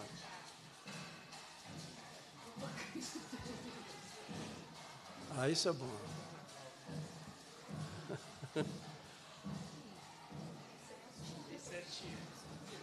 Estão dando chupeta para alguém aí. Então, a minha secretária tem 44 anos, que está lá no meu consultório, na minha clínica, e a minha equipe, quem tem menos tempo de casa, tem 40 anos. Por que uma equipe? Porque tratar só a criança é tratar da sintomatologia, dos sintomas da patologia do grupo familiar. Então, lá na nossa clínica, quando levam uma criança, se os pais não participarem do tratamento, nós não atendemos. Porque achamos que não. Eu já tive essa experiência, acho que não vale a pena. Vamos prosseguir aqui um pouquinho, que essas áreas psicológica, biológica e sociológica têm a do meio aí, importantíssimo para compreender isso. Então, nós todos vivemos isso a mesma tensão. Já pensou na tensão da família com uma criança em casa, com hiperatividade? É? Tem angústia, que é a mesma tensão centrada na área do corpo, ansiedade na área da mente e medo. Então, tudo isso nós estamos permanentemente lidando com isto. A tensão aumentada gera o que nós chamamos de distress. É, estresse é uma relação particular entre uma pessoa, seu ambiente e as circunstâncias às quais está submetida, que é avaliada por ela como uma ameaça ou algo que exige dela mais que suas próprias habilidades ou recursos e que põe em perigo seu bem-estar. Então, existe um estresse tóxico quando a relação mãe-filho não é boa. Esse estresse leva a uma, um aumento de movimentação. Portanto, se nós estamos tratando de uma criança com qualquer patologia que ela tenha, precisamos saber como é essa relação com sua mãe, com seu pai, com a sua família. É? A diferença dos alicerces está nas bases sobre as quais a casa da vida é construída. Se você constrói uma casa sobre uma montanha, mas uma montanha não de terra que desliza, como muita gente faz essas casas para vir a chuva ele correr na prefeitura, receber um dinheiro e comprar outra casa. Teve uma família que fazia isso, morreram todos. No, quer dizer, uma coisa se constrói, constrói em cima da pedra, não na beira do rio, não é? A vida é uma viagem pelo tempo. O útero é uma das estações. Né? Eu vou lhes dar agora o meu, o meu conceito de saúde mental. Né? Aqui tem um nível de tolerância, é uma eterna luta que nós temos todos os dias e depende da nossa tolerância.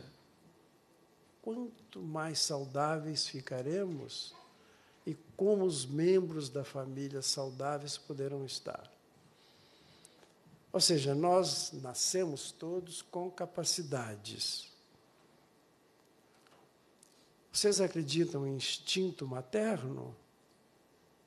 Acreditam? Mas não existe.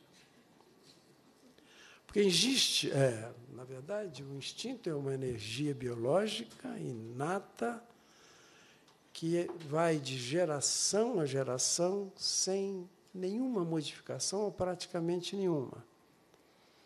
Então, se existisse instinto materno, não teria mãe que jogava seu filho no lixo, não teria a mãe que dava descarga no feto.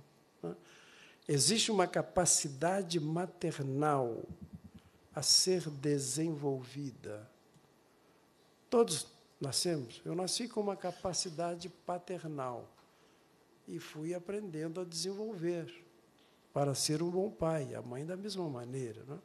Então, essa capacidade que o ser humano tem é para mobilizar e desenvolver suas habilidades. Por exemplo, a habilidade motora dos meninos e das meninas que têm hiperatividade é muito grande há que se mobilizar essas habilidades deles.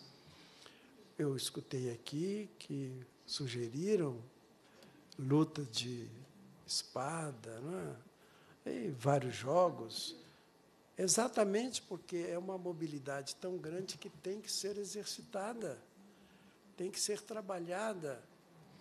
Os remédios ajudam, a maioria dos professores querem um aluno quietinho, sentado, que não dê trabalho. Né? Se o menino, como o transtorno de déficit de atenção, qualquer barulhinho ele vira, ele olha, é preciso também ajudá-lo a desenvolver as suas habilidades de atenção. Né? Então, essas habilidades que são inatas e adquiridas, intelectuais, afetivas, relacionais, com o desenvolvimento dessas habilidades é que nós podemos elevar o nosso nível de tolerância. Se não elevarmos, inclusive emocionalmente, é? o nível de tolerância ou suporte fica baixo. E as tensões, a dor, as frustrações, né? sofrimento, elas não são superáveis. Por exemplo, tem pessoa que vai tirar exame, uh, um sanguinho, com uma picadinha, ele desmaia. Não tem tolerância à dor, qualquer coisinha está gritando de dor. Tem pessoas que vão ao dentista, o dentista quer dar o anestésico, não, não precisa não, tenta aí primeiro para ver. Tem gente que faz o tratamento do dente sem dor. Tem gente que machuca um pouquinho, dá uma limpeza ali e a vida continua. Então, elevar o nível de tolerância ao sofrimento, à dor, ao medo, à angústia, à ansiedade, é resultante da luta pela sobrevivência. Todos nós precisamos lutar. E são necessárias para o seu desenvolvimento emocional. Então, baixo nível de suporte ou de tolerância, doenças, transtornos. Elevado nível, saúde mental. Opa. Voltou. É o último, né? Então, eu peço desculpas pela demora, mas eu tinha preparado de uma outra maneira, mas passei para vocês uma ideia do que eu considero família saudável.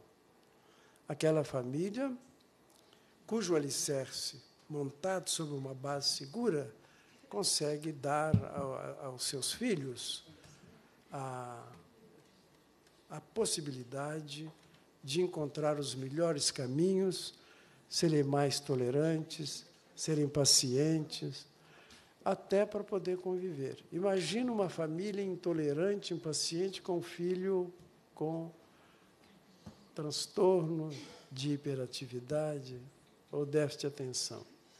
Né?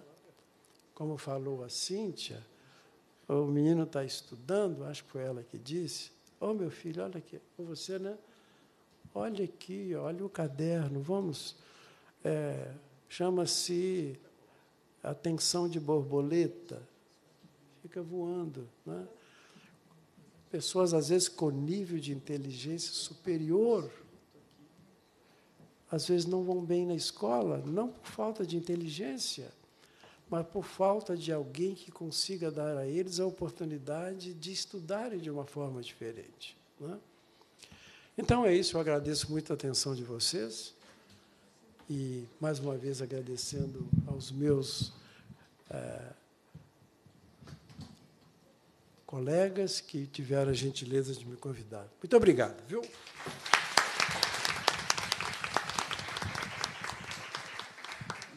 Muito obrigado, doutor José Raimundo. Com a palavra, doutor Iane. Antes, eu, eu ia deixar para o final, mas não aguentei. Não sei se vocês observaram, parecia que eu estava adivinhando. Eu chamei uma princesa para vir aqui, chamada Sara. E na pessoa dela, eu quero cumprimentar todas as crianças, pedir uma salva de palmas para todas elas. Mas eu vou tomar, além de tudo, a liberdade de mostrar para todos vocês a obra de arte que ela fez. Olha o desenho dela. e ela teve o cuidado de fazer o desenho mencionando esse painel que aqui está, o microfone e a característica de cada uma das pessoas, mostrando que você, de fato, é uma mulher, doutor, com sua calvície. A senhora. E eu, a minha esposa, vai te parabenizar, porque ela falou que era para eu cortar o cabelo. Vai te agradecer. E assim, respectivamente. Muito, muito obrigado. Um beijo grande para você e mais uma vez o meu carinho com todas as crianças que estão aqui. Uma salva de palmas para ela. É, boa noite.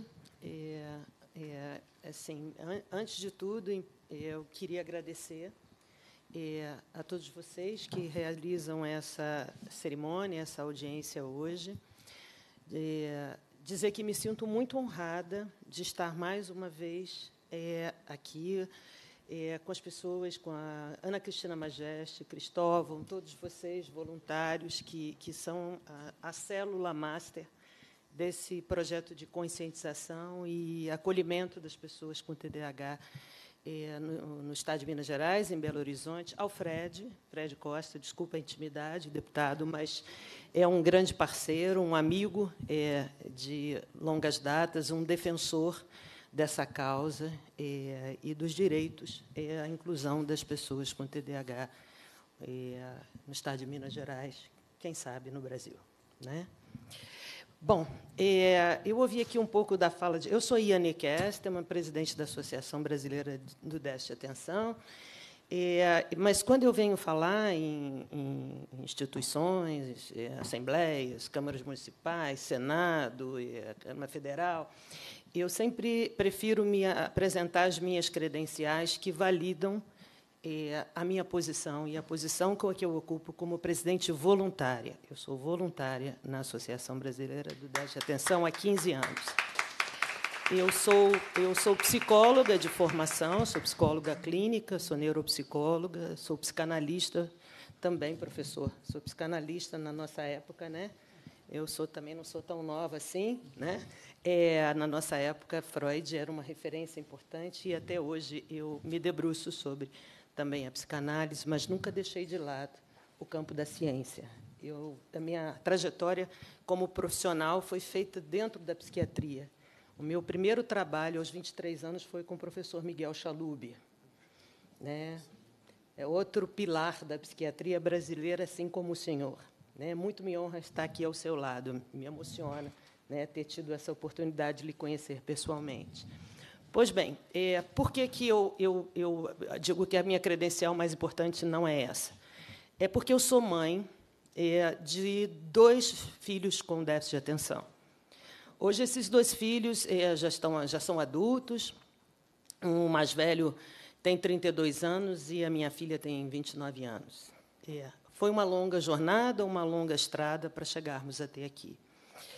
Eu vou tentar ser sucinta, porque assim, eu acho que a gente, eu queria levantar alguns pontos, né, e assim falar desde da, da, da trajetória, da minha trajetória, do que me traz até aqui, falar um pouco rapidamente sobre o transtorno também e, e poder assim é, fazer deixar alguma alguma mensagem consistente para vocês. O, o, deputado Fred Costa falava da história do Michael Phelps. Essa semana mesmo a gente postou no site da associação um vídeo legendado dele contando é, o quanto foi difícil a história de vida dele. É, conheci a mãe do Michael Phelps, a Deborah Phelps, num congresso da Associação Americana do Deixe Atenção na Califórnia. Ela é uma ativista também. Ela tem, ela faz parte de um grupo nos Estados Unidos chamado ADHD Moms, mães é, de, de filhos com TDAH. A minha história repete um pouco esse padrão, né? A minha história que me traz até essa posição que eu ocupo é, é, é esse padrão. Michael Phelps, filho da Dona Maria, Dona Joana, né? seu Pedro, seu José, né? Porque, assim, se tem uma coisa é que o TDAH é, e eu, isso muito me orgulha, é porque ele é democrático. Né? Ele dá em todas as famílias, independente do, da classe social, independente do sobrenome. É, é um transtorno realmente que, que marca a vida das pessoas, é uma realidade e traz muito prejuízo. Eu tinha esse meu filho hoje com 32 anos, Criança, todo mundo conhece, eu, depois eu trago isso para o campo dos sintomas, né? mas criança agitada, levada, não parava quieto, no caso dele, ele era hiperativo, desatento, bagunceiro, enfim, todo mundo aqui, de uma certa forma, conhece os sintomas do TDAH, desde que nasceu. Primeira vez que eu eh, lancei o olhar sobre ele no berçário ainda da casa de saúde, eu falei: esse bebê tem alguma coisa diferente porque todos os bebês do berçário, com algumas horas de nascido, estava tudo deitadinho naquelas, naqueles bercinhos, né? É bonitinho, enroladinho lá no pano, e ele balançava as mãos. Eu falei, tem alguma coisa ali, né? E a gente achava bonitinho, né? A gente achava bonitinho porque, é, no meu entendimento, no entendimento das pessoas da minha volta, ele era esperto. E de fato ele é esperto, ainda é muito esperto, né? Só que o tempo foi passando, ele foi crescendo, foi se desenvolvendo e entrou na escola. Né? Maternal, pré-maternal, bom menino, é, sabe, obediente, dócil, mas assim, a hora do lanche com as crianças derrubava a merendeira do outro, deixava os papéis cair no chão, falava na hora que não tinha que falar, né? levantava quando não podia levantar, fazia xixi 18 vezes. Foi para a alfabetização, foi alfabetizado é, bem. Depois eu vou até tocar um fator que o senhor falou ali, que é a questão da família e da resiliência que é um, é um fator importante de proteção né, na severidade do TDAH. Né? A gente diz que é, uma criança com TDAH não é igual a outra criança com TDAH. Múltiplos são os fatores que fazem essa diferenciação. Mas um dos fatores importantes é o que o é, professor disse. Né? Quando você tem uma família consistente, quando você tem uma família com uma estrutura boa, quando você tem uma boa escola, uma mãe, um pai que te dão suporte, que estudam com a criança, né, que dão é, é, condições né, dela seguir em frente, isso ajuda muito. Vocês não têm noção de como essas crianças superarem é, uma, uma parte desses obstáculos. Né? Pois bem, a gente era essa família que o professor falou, né? para a sorte dele. Eu era já psicóloga, psicanalista, nunca tinha ouvido falar de TDAH e comecei o meu, o meu, a minha via crucis, né, com seis anos de idade, quando ele começou na alfabetização, porque a reclamação é não para quieto, perde o caderno, levanta, aquilo tudo que as pessoas que têm crianças com TDAH por perto sabem. Então, aos seis anos, eu levei num, num neurologista para dizer tem alguma coisa errada, sabe? Eu sou psicóloga, tem alguma coisa errada. Não, ele não tem nada. Ele é uma criança normal, ele só é distraído, ele é avoado, ele tem muita energia, bota na natação, bota no judô, bota numa.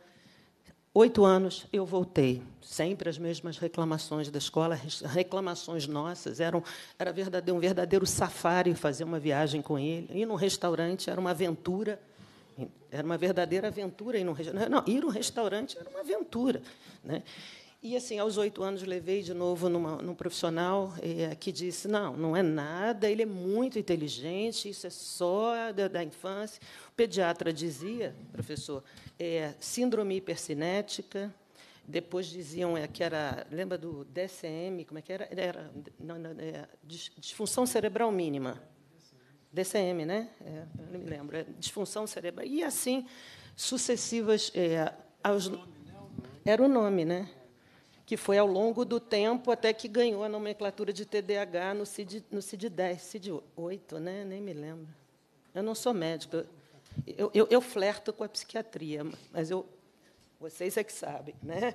Mas, enfim, é, aos nove anos, voltamos nós a outro profissional. Não, isso, é, olha, isso aqui são questões psicológicas. Esse menino tem muita ansiedade, isso são angústias é, de natureza subjetiva. Eu, psicanalista, botei o cidadão para fazer análise, e eu sou freudiana, dos 10 aos 13 anos de idade. Eu fui para análise, meu marido foi para análise, ele foi para análise, a empregada foi para análise, o cachorro foi para. Foi todo mundo para análise. É, é, subsidiamos durante muito tempo essa, esse mercado né, que se beneficia do diagnóstico errado. É importante deixar isso claro. Já que isso está sendo gravado, eu quero deixar claro. Não fazer o diagnóstico do TDAH pressupõe algumas questões. A primeira, ignorância. Eu não sei. Então, não faço o diagnóstico porque desconheço que é TDAH. Eu também não sabia. Estou contando aqui para vocês que andei feito uma condenada. E eu era profissional de saúde mental. Né? Então, não sei, não faço o diagnóstico. Outra, outra perspectiva é: eu sei o que é, faço de conta que não existe, não encaminho para o diagnóstico por questões ideológicas, porque politicamente eu não acho legal que crianças tenham transtornos psiquiátricos. Eu preciso dizer que todas as condições que afetam as crianças e adolescentes são de natureza meramente social. Então aí a gente diz: não existem conflitos. Existem pessoas, crianças não assistidas né, e contempladas com justiça social, o que não invalida o fato de que isso de fato acontece. A terceira condição é: eu sei que existe, eu faço de conta que não existe, eu não encaminho para o diagnóstico, porque essas dificuldades dessas crianças alimentam todo um mercado que dá suporte às dificuldades de aprendizado do TDAH. Eu não vou citar nomes né, de profissionais, porque, afinal de contas, eu entendo que a maioria dos profissionais que atuam nessa área são pessoas extremamente corretas, competentes e éticas. Mas não é assim que funciona a realidade o tempo todo. E lá fui eu, né, voltando ao, ao ponto de origem da minha fala para vocês, andando por todos esses caminhos e passando por diversos profissionais, alguns que não sabiam o que eram, como eu, outros que sabiam, outros que não queriam saber. E aí, depois de anos alimentando o mercado do subjetivismo, Viu? Porque ciência não tem nada a ver com subjetivismo. TDAH é um transtorno neurobiológico reconhecido pela Organização Mundial de Saúde, que afeta de 3 a 6% da população. Isso é no mundo inteiro igual. É cérebro. É, professor? É cérebro. Não tem nada a ver com subjetividade, embora a gente saiba né, que existe aí uma soberania do inconsciente e das relações subjetivas na vida das pessoas. Mas o fato é que aos 13 para 14 anos de idade, depois de todo, é, era professor particular, aquele hoje vocês chamam de suporte, não é isso? Suporte, hoje agora é, na minha época não tinha essa modalidade, porque ele está hoje com 32 anos. Agora é psicopedagogo, professor particular, olha, aula de apoio, não é isso? Aula de apoio. Professor de apoio dentro, professor de apoio fora, enfim, um, um séquito, um séquito, né?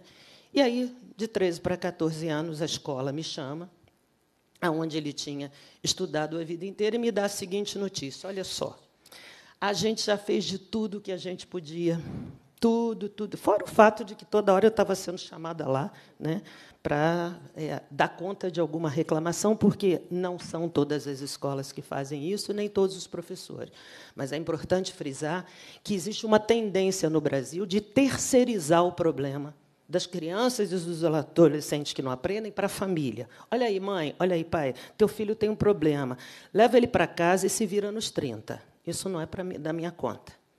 Tá? E aí a gente tem duas vertentes para pensar. A primeira, porque os professores não têm capacitação mesmo, né? o Estado não faz, a gente sabe como é que é a educação da pátria educadora, né? as pessoas não são alfabetiz, minimamente. Então, isso assim é uma questão de realidade. E tem o fato também de muitos profissionais e muitas escolas não estarem dispostos a matar no peito a realidade dessas crianças e chamar para si a responsabilidade. De 13 para 14 anos, me chamaram e disseram: Olha, temos um problema, ele não, ele não vai ficar reprovado em todas as matérias, não aprende, é aquilo que você sabe, né? esquece material, não, não, não faz o dever. Blá, blá, blá. E, pelo amor de Deus, ele é inteligente, sabe? Ele é bom. Vocês mesmos reconhecem que ele é muito bom, que ele é um menino esperto, sabe? Aprende rápido. É, mas assim não guarda as coisas, a memória é muito ruim. Deixa eu falar uma coisa. É, faz o seguinte: é, a gente vai dar essa reprovação para ele, o conselho de classe decidiu que ele precisa ser reprovado, porque ele vai aprender uma lição. Qual é a lição que ele vai aprender? Ele vai aprender no ano que vem a entrar em sala de aula, aqui nessa mesma escola, sentar na primeira fileira e prestar atenção. Ou seja, ele estava sendo punido porque ele não prestava atenção. Tá? Eu não sabia, eu não tinha a menor ideia do que era TDAH, nunca tinha ouvido falar em TDAH na vida, até porque há 17 anos atrás pouco se falava sobre TDAH no Brasil. Eu acho até que não se falava nada, né, Cristóvão? Era, era muito incipiente. Eu não tinha ouvido falar, eu vivia no, dentro da, mais dentro da psicanálise, então a gente não, não se ocupava muito dessas questões. E aí, mãe, o que é mãe? Né? Com, todo, é, com todo respeito e, e, e, carinho pelos pais. Mãe é um bicho, né? É, não existe instinto, mas existe uma, uma, uma leoa ali dentro que, quando a gente vê os nossos filhos, pelo menos grande parte das mulheres, sobre ameaça, a gente vira a mesa e vai procurar o que tiver. Né? E aí fui correr atrás para saber o que, que era aquilo, tirei ele da escola. A escola, ele foi reprovado, ele foi, não deu chance nem do garoto fazer recuperação. E, assim, nesse veredito do, do, do conselho de classe, foi dito um detalhe para você lembrar: ele é muito ruim em matemática, muito, muito, muito, muito. Bota ele para fazer uma coisa que seja muito distante da matemática, bota para fazer música, arte, cinema, sei lá, qualquer coisa que ele não precise fazer conta porque ele é muito ruim. Guardem isso aqui, tá? Pendure isso no varal que daqui a pouco eu volto nisso. E aí fui correr atrás, procurei livros, informações, e encontrei um livro sobre déficit de atenção. Esse livro aqui. Sou eu que edito esse livro hoje. Estava na primeira edição. Eu acho que não tinha nem 90 unidades vendidas. Eu achei esse livro do professor Paulo Matos, que não era essa capa, não era essa versão, já está na 17ª edição. E eu comecei a ler o livro às sete horas da noite. Meia-noite eu já tinha acabado de ler o livro. Falei, caramba, aqui dentro está o meu filho. E aí liguei para o médico que escreveu esse livro, que é um pesquisador de TDAH no Brasil, lá da UFRJ, já estudava TDAH na época, e marquei uma consulta. Ele também tem, é verdade, né, professor? E aí marquei uma consulta, depois de um longo tempo de consulta com meu filho, ele disse para a gente, olha só, vou pedir uma avaliação neuropsicológica, que é uma bateria de exames, só para confirmar esse diagnóstico, porque você, psicanalista, vai questionar. Né? É, feitos exames é, que não eram necessários, porque o diagnóstico é clínico, deu TDAH. Aí ele disse para mim: está aqui. Isso aqui é uma caixa de um remédio, tarja preta, que trata essa doença, que é o TDAH que você leu no livro. É isso que a gente vai começar como tratamento para o seu filho. Eu peguei aquele remédio, senti um frio na espinha, fui para casa. No dia seguinte, ele começava numa nova escola. A escola que tinha reprovado ele em todas as matérias foi a história que ele, estudou, que ele entrou aos três anos de idade. Ele tinha quase 14. E aí, de manhã, ele saiu para a escola, eu tinha comprado o remédio, passei a noite acordando, perguntando, dou, não dou, tarja preta, dou, não dou, dou, dou, não dou, dou. A conclusão que eu cheguei de manhã é, pior do que está, não fica. Né? Abre a garganta, pá, toma o remédio, vai para a escola. Angustiada, até ele chegar da escola, né? porque a gente pensa vai ter, vai morrer, vai ter convulsão, vai ter um ataque epilético, sei lá, vai incorporar alguma coisa. É, três horas da tarde ele chega da escola, eu estou em casa, nem fui trabalhar nesse dia. Eu pergunto para ele: e aí, filho, como é que foi hoje na escola com esse remédio que o doutor deu? Ele disse: mãe, eu vou falar uma coisa para você. Hoje eu entendi uma coisa. Eu disse: o quê? Ele disse: hoje eu entendi que eu sento, presto atenção e aprendo igual os meus colegas. Bom, eu acho que eu não preciso falar muito mais. Né? E três anos depois, esse mesmo cidadão é, passou em segundo lugar para a Faculdade de Economia da PUC do Rio de Janeiro, que é a faculdade de economia mais difícil do Brasil, que só oferece 30 vagas. Foi dentro dessa faculdade de economia que foi forjado o Plano Real, o plano que estabilizou a moeda no Brasil. Ele foi aluno do Pedro Malan, ministro da Economia, Gustavo Franco e todos esses outros né, grandes economistas que é, criaram o Plano Real. Hoje ele tem 32 anos, trabalha no mercado financeiro, na diretoria de um banco, é, fez MBA, enfim, e passou é, com nota 10 na prova do vestibular de matemática, uma prova discursiva, não era múltipla escolha, com quatro questões de matemáticas para resolver na mão com nota 10. E aí a gente muda a vida da gente. Naquele instante, estava começando, estavam começando a formar essa associação que hoje é a ABDA. Né? Um grupo de médicos com, com algumas pessoas é, que tinham déficit de atenção, muito poucos, estavam começando. É, era um computador no, nos fundos de uma, de uma casa, de uma clínica emprestada, é uma salinha do tamanho de um banheiro com que a gente dividia e compartilhava com um canil de cachorros, né? E esse livro aqui, na primeira edição, vendia minguadamente. Nesse momento, me chamaram para trabalhar voluntariamente como mãe. Eu fui estudar também o, o tema e a gente começou esse trabalho, né? que hoje a gente tem no Brasil inteiro. A gente está aqui com vocês. A gente tem um projeto de lei federal em Brasília, que é o projeto 7081, que já está na última comissão em Brasília, passou por três comissões no Senado Federal, está na última comissão na Câmara e deve ser votado brevemente. E a gente, com certeza, vai ter uma lei federal que dá direitos às crianças com, e às pessoas com TDAH, de uma maneira geral. E a, isso é, com muito orgulho, um trabalho nosso, que a gente vem fazendo há muitos anos aqui com, com o deputado Fred Costa, em alguns municípios e estados brasileiros já temos leis municipais, é, é, leis é, estaduais, já conseguimos algumas prerrogativas, não é tudo o que a gente precisa, mas o Enem já dá um tempo diferenciado, uma prova é, numa sala separada para que as pessoas que têm o TDAH tenham mais facilidade. E é isso. E aí, naquele momento, eu entendi é, que, assim, é, se para mim e para o meu filho, é, com todas as facilidades que ele tinha, com a estrutura familiar que ele tinha, que a gente chama de fatores de proteção, de resiliência, a trajetória foi absolutamente difícil. Nós sofremos como família demais. Ele também. Ele só não foi para o fundo do poço porque ele tinha a gente. Mas essa não é a realidade de todas as crianças e adolescentes do Brasil. Né? Eles não tinham, essas, a maioria das crianças desse país se não quase todas, não têm acesso aos médicos que eu pude levar ele. Não tem acesso ao cara que escreveu esse livro. Então, eu entendi que a gente tinha que se reunir, nós, mães, porque essa não era mais uma questão do meu filho, era uma questão dos nossos filhos. E aí a gente está trabalhando aí até hoje é, para ver o que, é que a gente consegue. Então é isso. Né? Isso é a BDA. A BDA começou pequenininha, dividindo um espaço num canil, a gente foi crescendo, crescendo. Hoje nós temos oito núcleos em oito capitais, né? com muitos voluntários.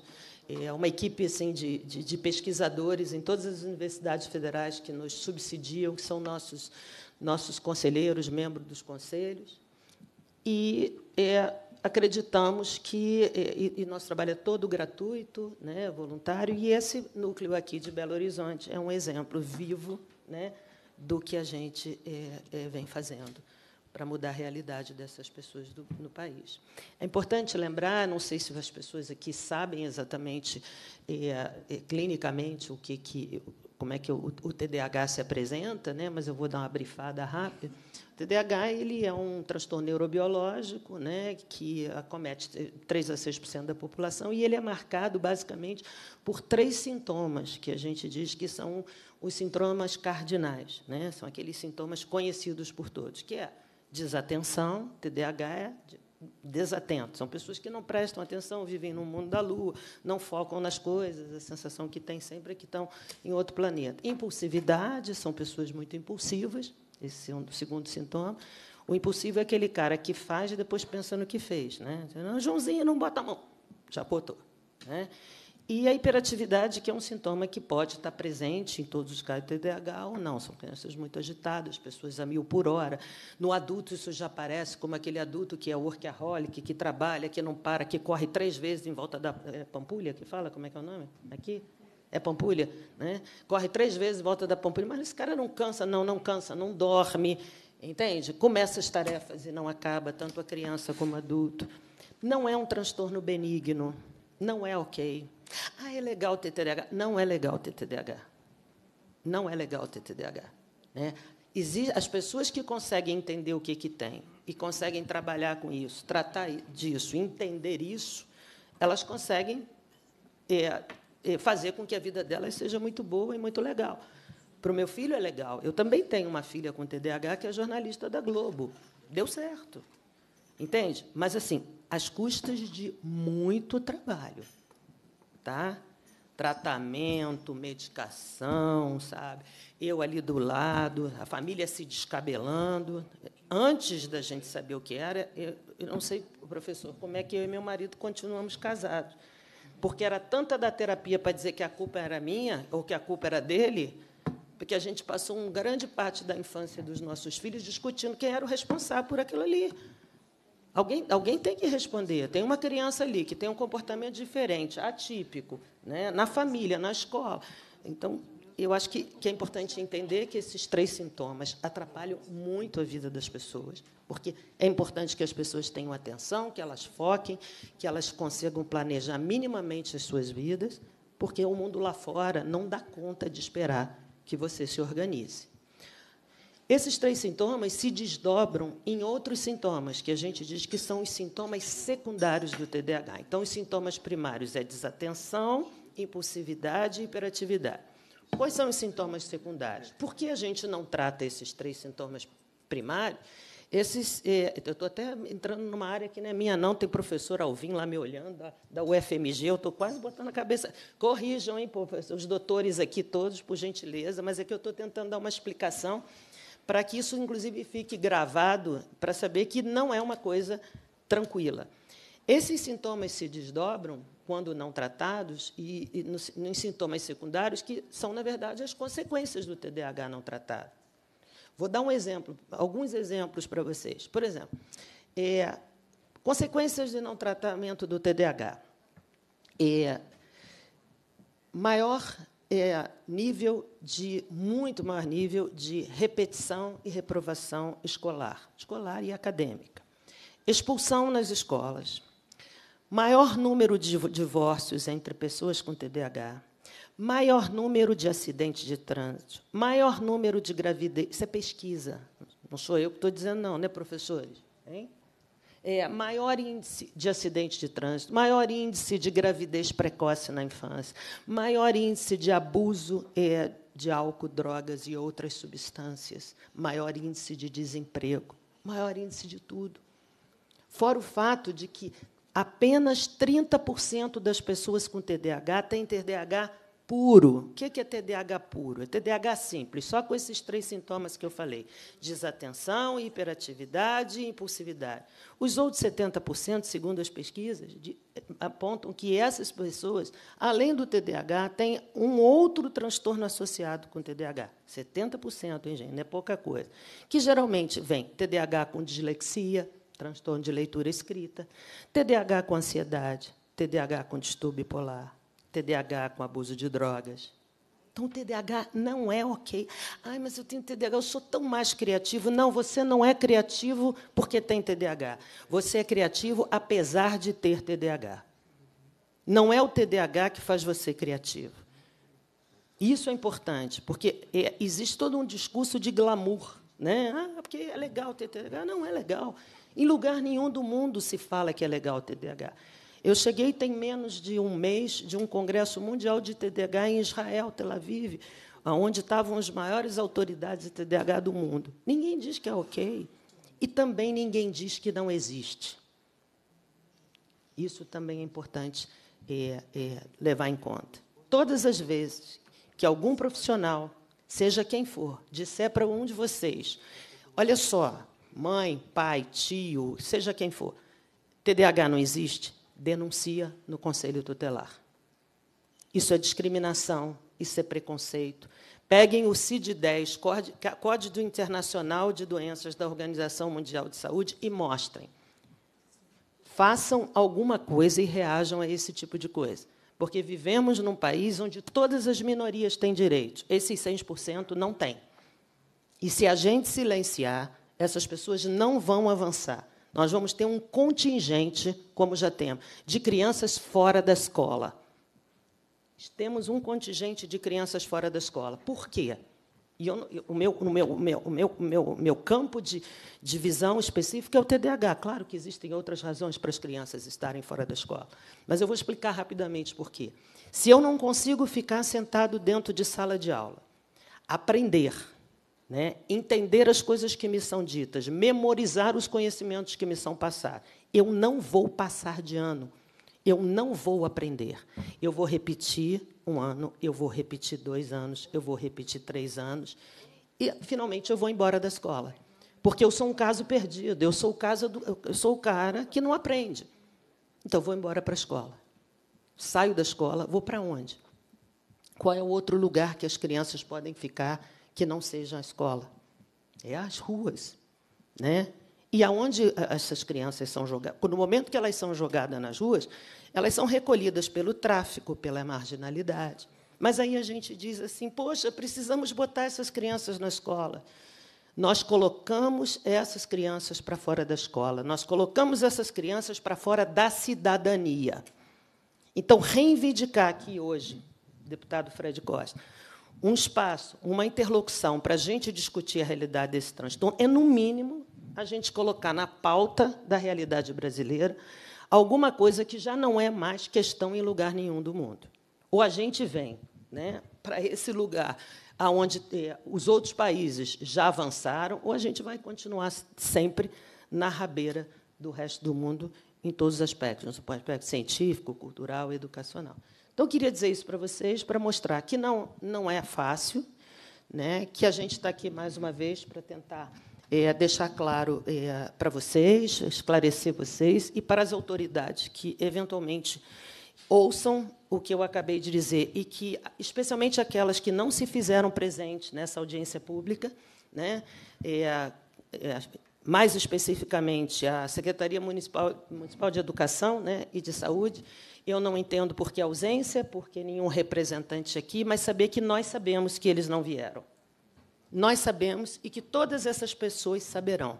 Porque nós, eu não estou aqui comprometida com nenhuma atitude política partidária, porque a associação e eu, como pessoa, sou apolítica. Mas essa ação em defesa dessas pessoas é uma ação política, sim, por políticas públicas para essas pessoas. E nós vamos lembrar a cada um dos nossos 200 mil seguidores no Facebook, aos nossos 400 mil visitantes de página é, no, no site e todas as mídias sociais, que nessa audiência pública é, do Assembleia é, Legislativa de Belo Horizonte, as autoridades se furtaram a olhar para a realidade do TDAH. Façam isso.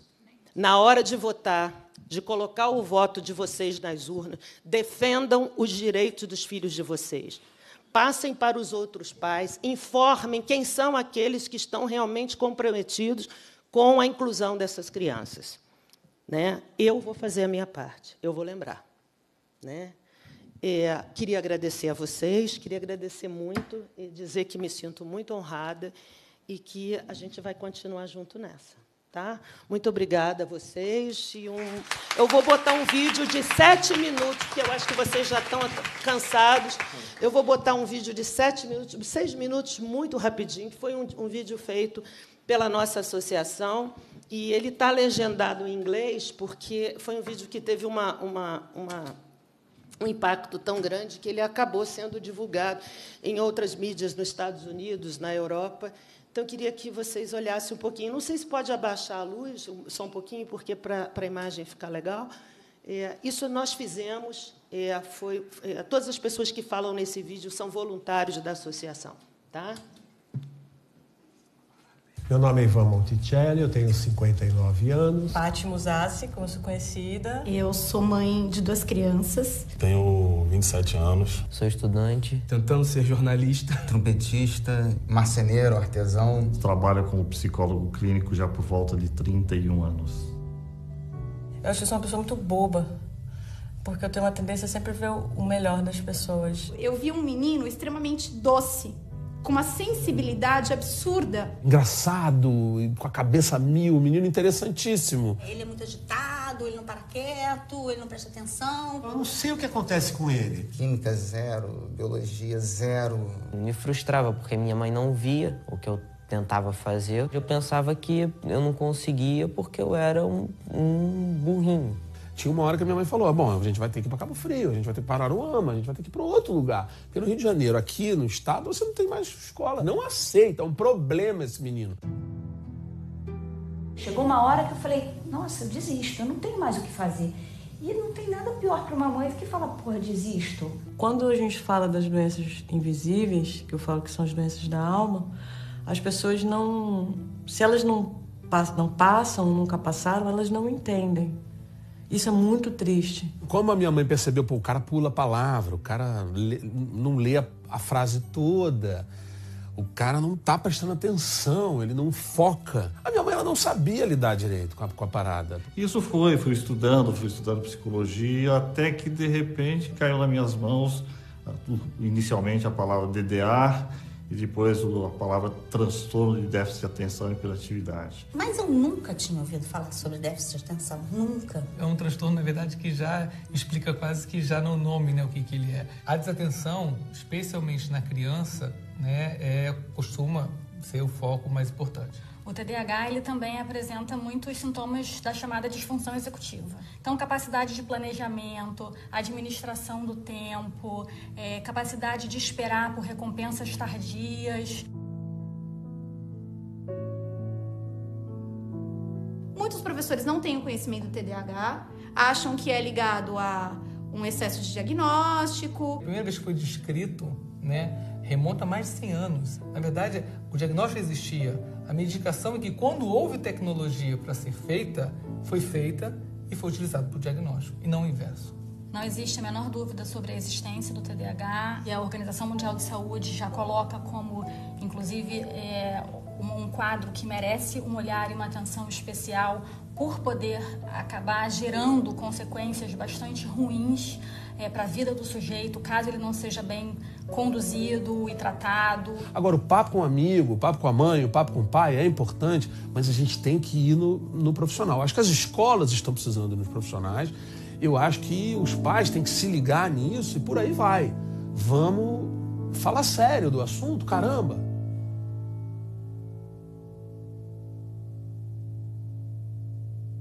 Sabe quando você sente que as pessoas não querem ficar com você? Minha vida hoje é uma sucessão de erros. Eu sou resultado de uma desinformação absoluta. Estou numa depressão bem bem profunda. Pô, usei droga pra caramba, entendeu? Bebi pra caramba, fiz um monte de merda, entendeu? a ponto de desistir de, de mim, né? Na época eu não queria saber de pai, de mãe, de filho, de ninguém. Um filho que tem o mesmo problema que eu. Na infância chamavam de idiota, sei lá. Eu me sinto isso, uma promessa não cumprida. Eu não aproveitei a adolescência. Para mim, era, não tinha luz no fim do túnel. Eu já tava com pensamentos de morte. Eu, já eu comecei a me fechar muito pro mundo. Acabou comigo. Eu tinha vontade de pedir o divórcio de mim. Quando eu venci, que eu tomei a primeira vez a medicação, que eu percebi que aquele barulho dentro da minha cabeça, aquele ninho de gralhas tinha calado, eu falei, meu Deus, cadê minha vida? Cadê minha vida que estava aqui? Ninguém entende. Ninguém entende, ninguém entende. Entende. É difícil. Eu ouvi de uma pessoa da minha família a seguinte frase: Tudo que as pessoas diziam que eu era, não era o que eu era, era o que eu tinha. Porque que eu sou é muito maior do que isso. Eu sou uma pessoa rica de experiência. Eu me vi justamente no diagnóstico de TDAH, entendi várias coisas que aconteceram na minha vida. A partir do momento que a gente entendeu o que ele tinha, nossa, foi tão mais fácil. O, o tratamento correto com a medicação, com a psicoterapia, com a fonoterapia, consegue reverter muitos desses sintomas. E eu consegui fazer com que o possível sofrimento de minha filha fosse uma coisa extremamente reduzida. Comecei a fazer o tratamento, aí Aí fiz o primeiro show. A questão é o que, que eu vou fazer com isso de agora em diante, né? Eu não posso me acomodar com o que eu tenho. TDAH não é para mim tipo uma parte a mais, para mim tipo já sou eu. É trabalho, sabe? É no dia a dia que hoje eu consegui essa vitória. Né? Eu percebi que eu tinha um campo imenso de, de coisas pela frente. A primeira reunião de grupo que eu fui, eu vi que tinha outras pessoas iguais a mim. Isso me deu uma uma energia tão grande. Para mim a sensação é que eu encontrei uma família, porque eu tinha a sensação que eu era de outro planeta. Eu tô me encontrando, assim, agora.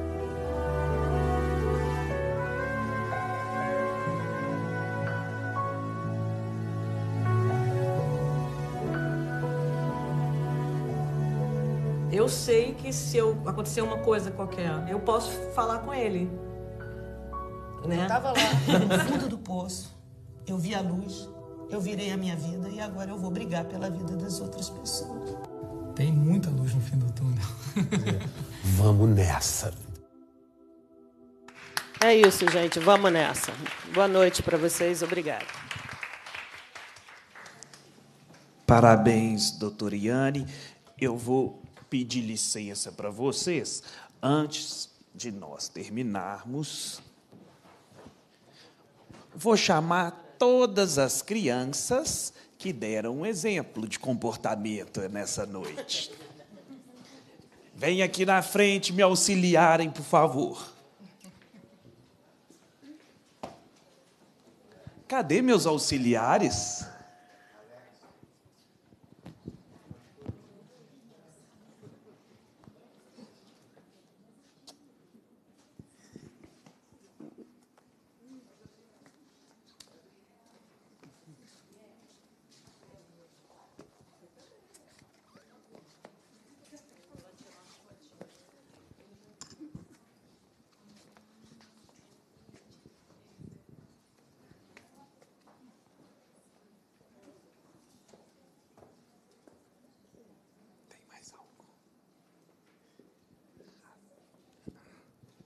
Agora, vocês vão me ajudar. Gentilmente, o laboratório, cujo nome me fugiu a memória, Laboratório Chai, cedeu alguns livros para que a doutora Ana trouxesse e nós pudéssemos sortear. Tem ali do número 1 ao 30 o que, que vocês vão fazer?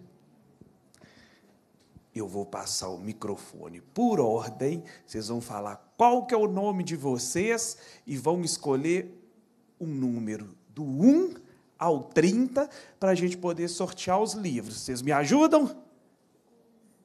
Então vamos começar. Qual o seu nome? Bruna.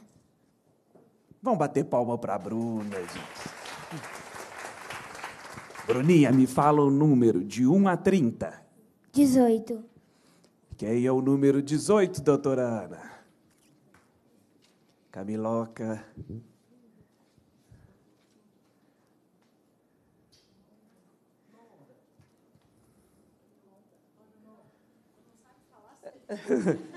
Pedi para vocês utilizarem aqui, ó.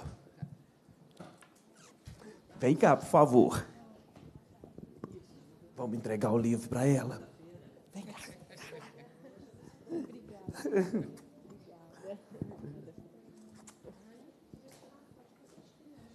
Agora é você. Você já foi citado aqui hoje, hein? Alex. Qual o número? De 1 a 30. Não vale repetir.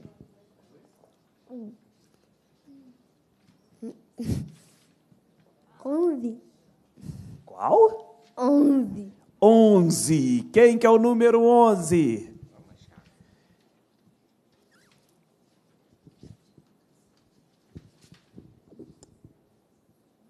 Enquanto isso, palmas para ele também, né, gente? Esses meninos deram um show de comportamento. Lucimara Cristina. Entrega para Lucimar. É Lucimar ou É a Lucimara? mãe da- Ah. Tudo bem.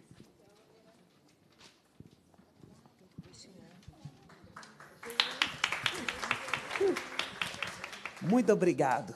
Hoje eu estou muito bem assessorado, viu? Camila, você toma, você toma cuidado, viu? Olha o tanto de concorrente você está aqui. E agora, Sofia. qual o número, Sofia? Trinta. Número 30. Palmas também para a Sofia. Flávia Maria.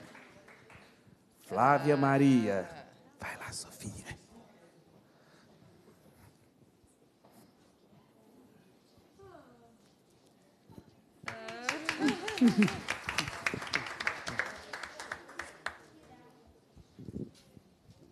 Maria Alice. Qual o número, Maria Alice? 10. Número 10. É, dez, vamos ver aqui.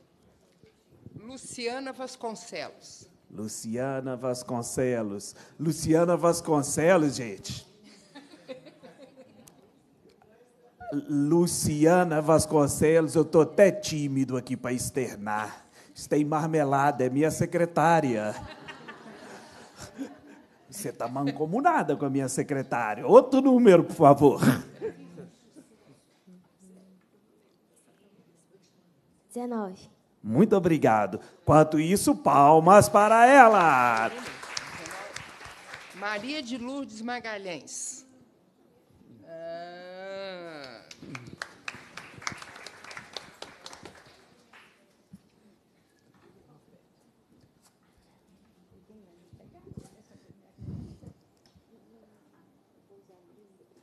Muito obrigado. Ana Carolina. Qual o número, Ana Carolina? 12. E palmas para Ana Carolina, quanto isso. Que doutora Ana e Camila. Naim. Ah, Naim.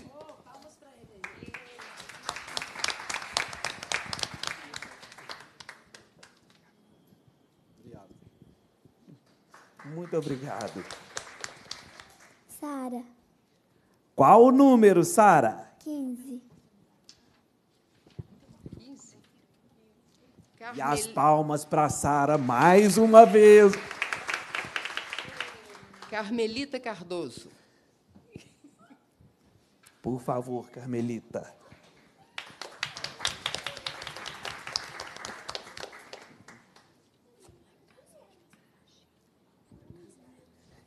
Nessa rodada, nós vamos ter que fazer de outra forma, viu? Que só tem três livros para seis. Então, vocês dois entram num acordo. Que número que nós vamos?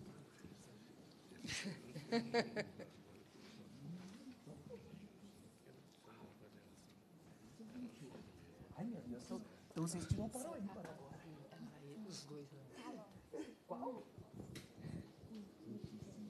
Então, vamos lá. Qual é o número? 25. Com direito a couro. Vocês já vão pensando aí. Dirce de Carvalho. Ah.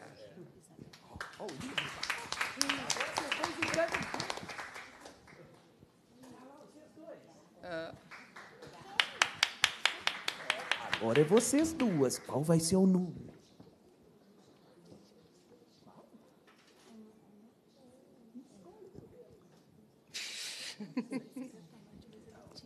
Um, dois e.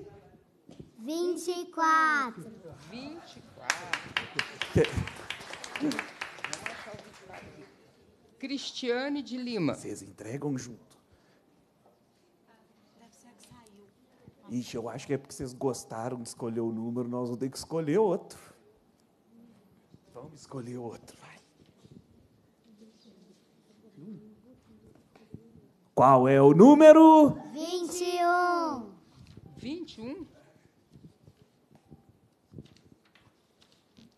Olga Cristina. Ah.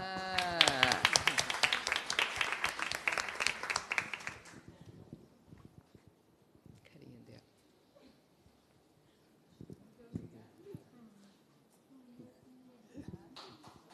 Tá bom? E agora é o último. Qual vai ser o número?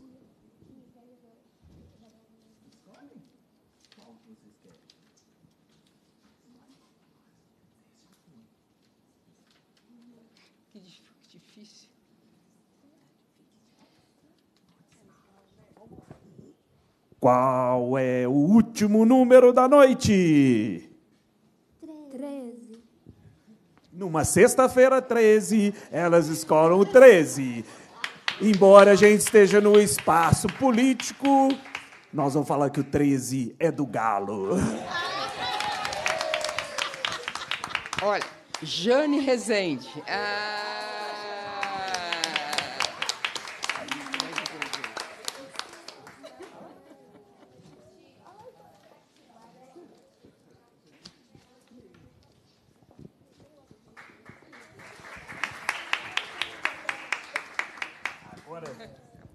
Agora eu vou tirar a foto com as seis estrelas maiores. Vamos tirar a foto ali, ó. Vem cá. Ah lá,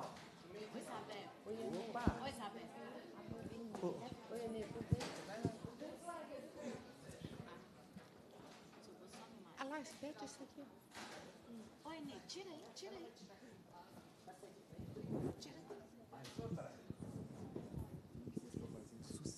Todo mundo querendo tirar foto com você.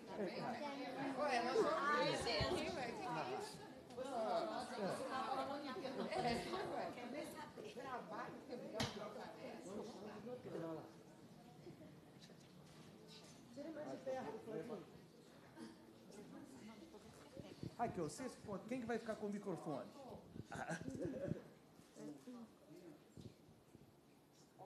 Olha o povo aqui em cima, hein? todo mundo bonito.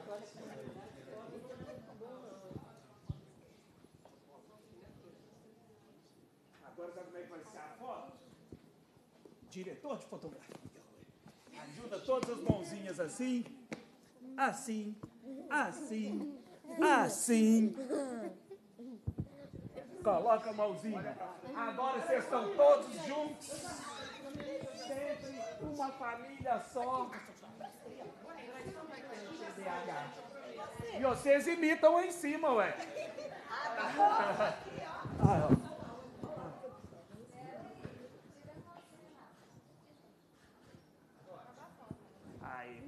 Parabéns aos meus auxiliares, deram um show. Muito obrigado a vocês. Por último, quero agradecer a presença de todos vocês que, de forma altruísta, abnegada, demonstrando imenso compromisso, abdicam do aconchego do lar de vocês e vêm aqui numa sexta-feira à noite. Isso eu falo com relação aos doutos profissionais, representantes de associações, pais, mães e responsáveis. É lamentável que nós tenhamos de estar numa casa legislativa numa sexta-feira à noite, quando natural seria o poder público, de forma inerente, buscar o aperfeiçoamento das políticas públicas, nesse caso, para o TDAH. Mas já que, lamentavelmente, num país onde muito nós temos para avançar, essa especificamente também deixa muito a desejar que fique nesse aniversário, é a nossa esperança de maior compromisso dos gestores para com os adultos, mas, sobretudo, para com as crianças, as futuras gerações que carregam a nossa esperança de um país melhor. Aqui faço uma provocação, mesmo sabedor que estará registrado em ata.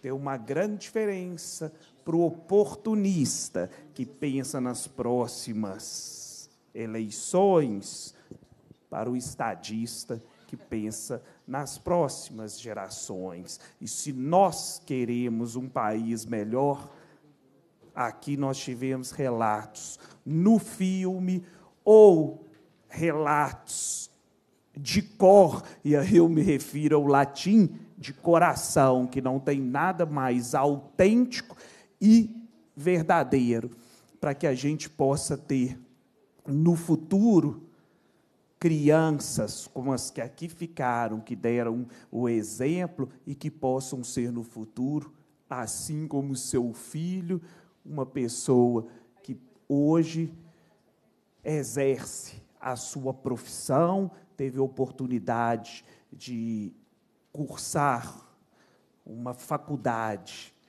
tão difícil, né, Universidade Federal, Economia, e que essa possa não ser uma exceção, mas uma regra cujo caminho seja coroado de êxito. Aqui eu falei do futebol, não só para fazer uma analogia com a dupla, mas referente ao 13 do Galo. No futebol, nós podemos torcer para o Atlético, para o Cruzeiro ou para todos todos os outros.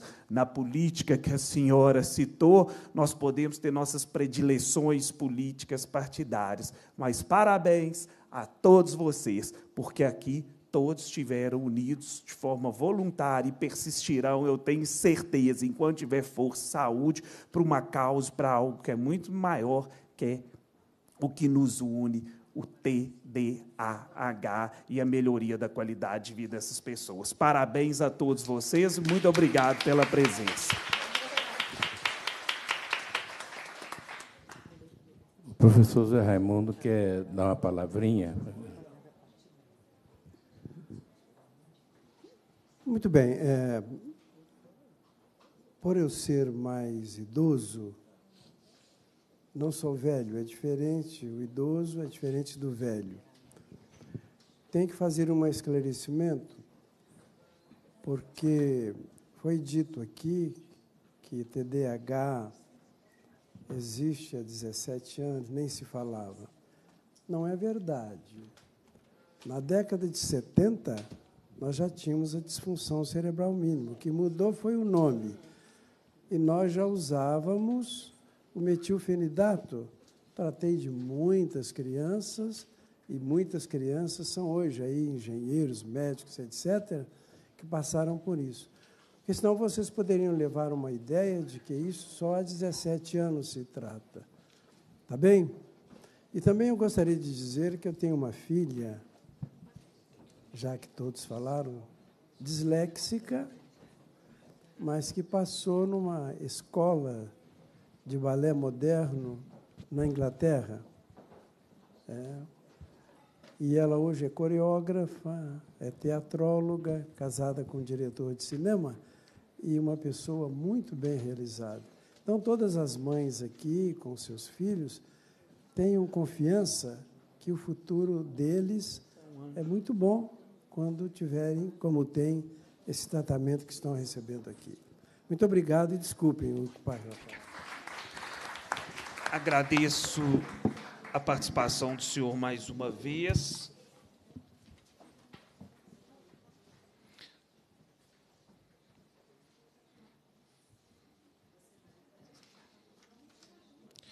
Cumprida a finalidade da reunião, a presidência agradece a presença dos convidados e do público presente, Convoca os membros para a próxima reunião ordinária, determina a lavratura da ata e encerra os trabalhos. Tenham todos uma boa noite e agora, já fechado e encerrado nossos trabalhos, Vou passar a palavra para a doutora Ana, que vai convidar a, juntos ali, certamente, cantar os parabéns e degustar ali aquelas delícias, belas guloseimas. né? Olha, eu sou obediente.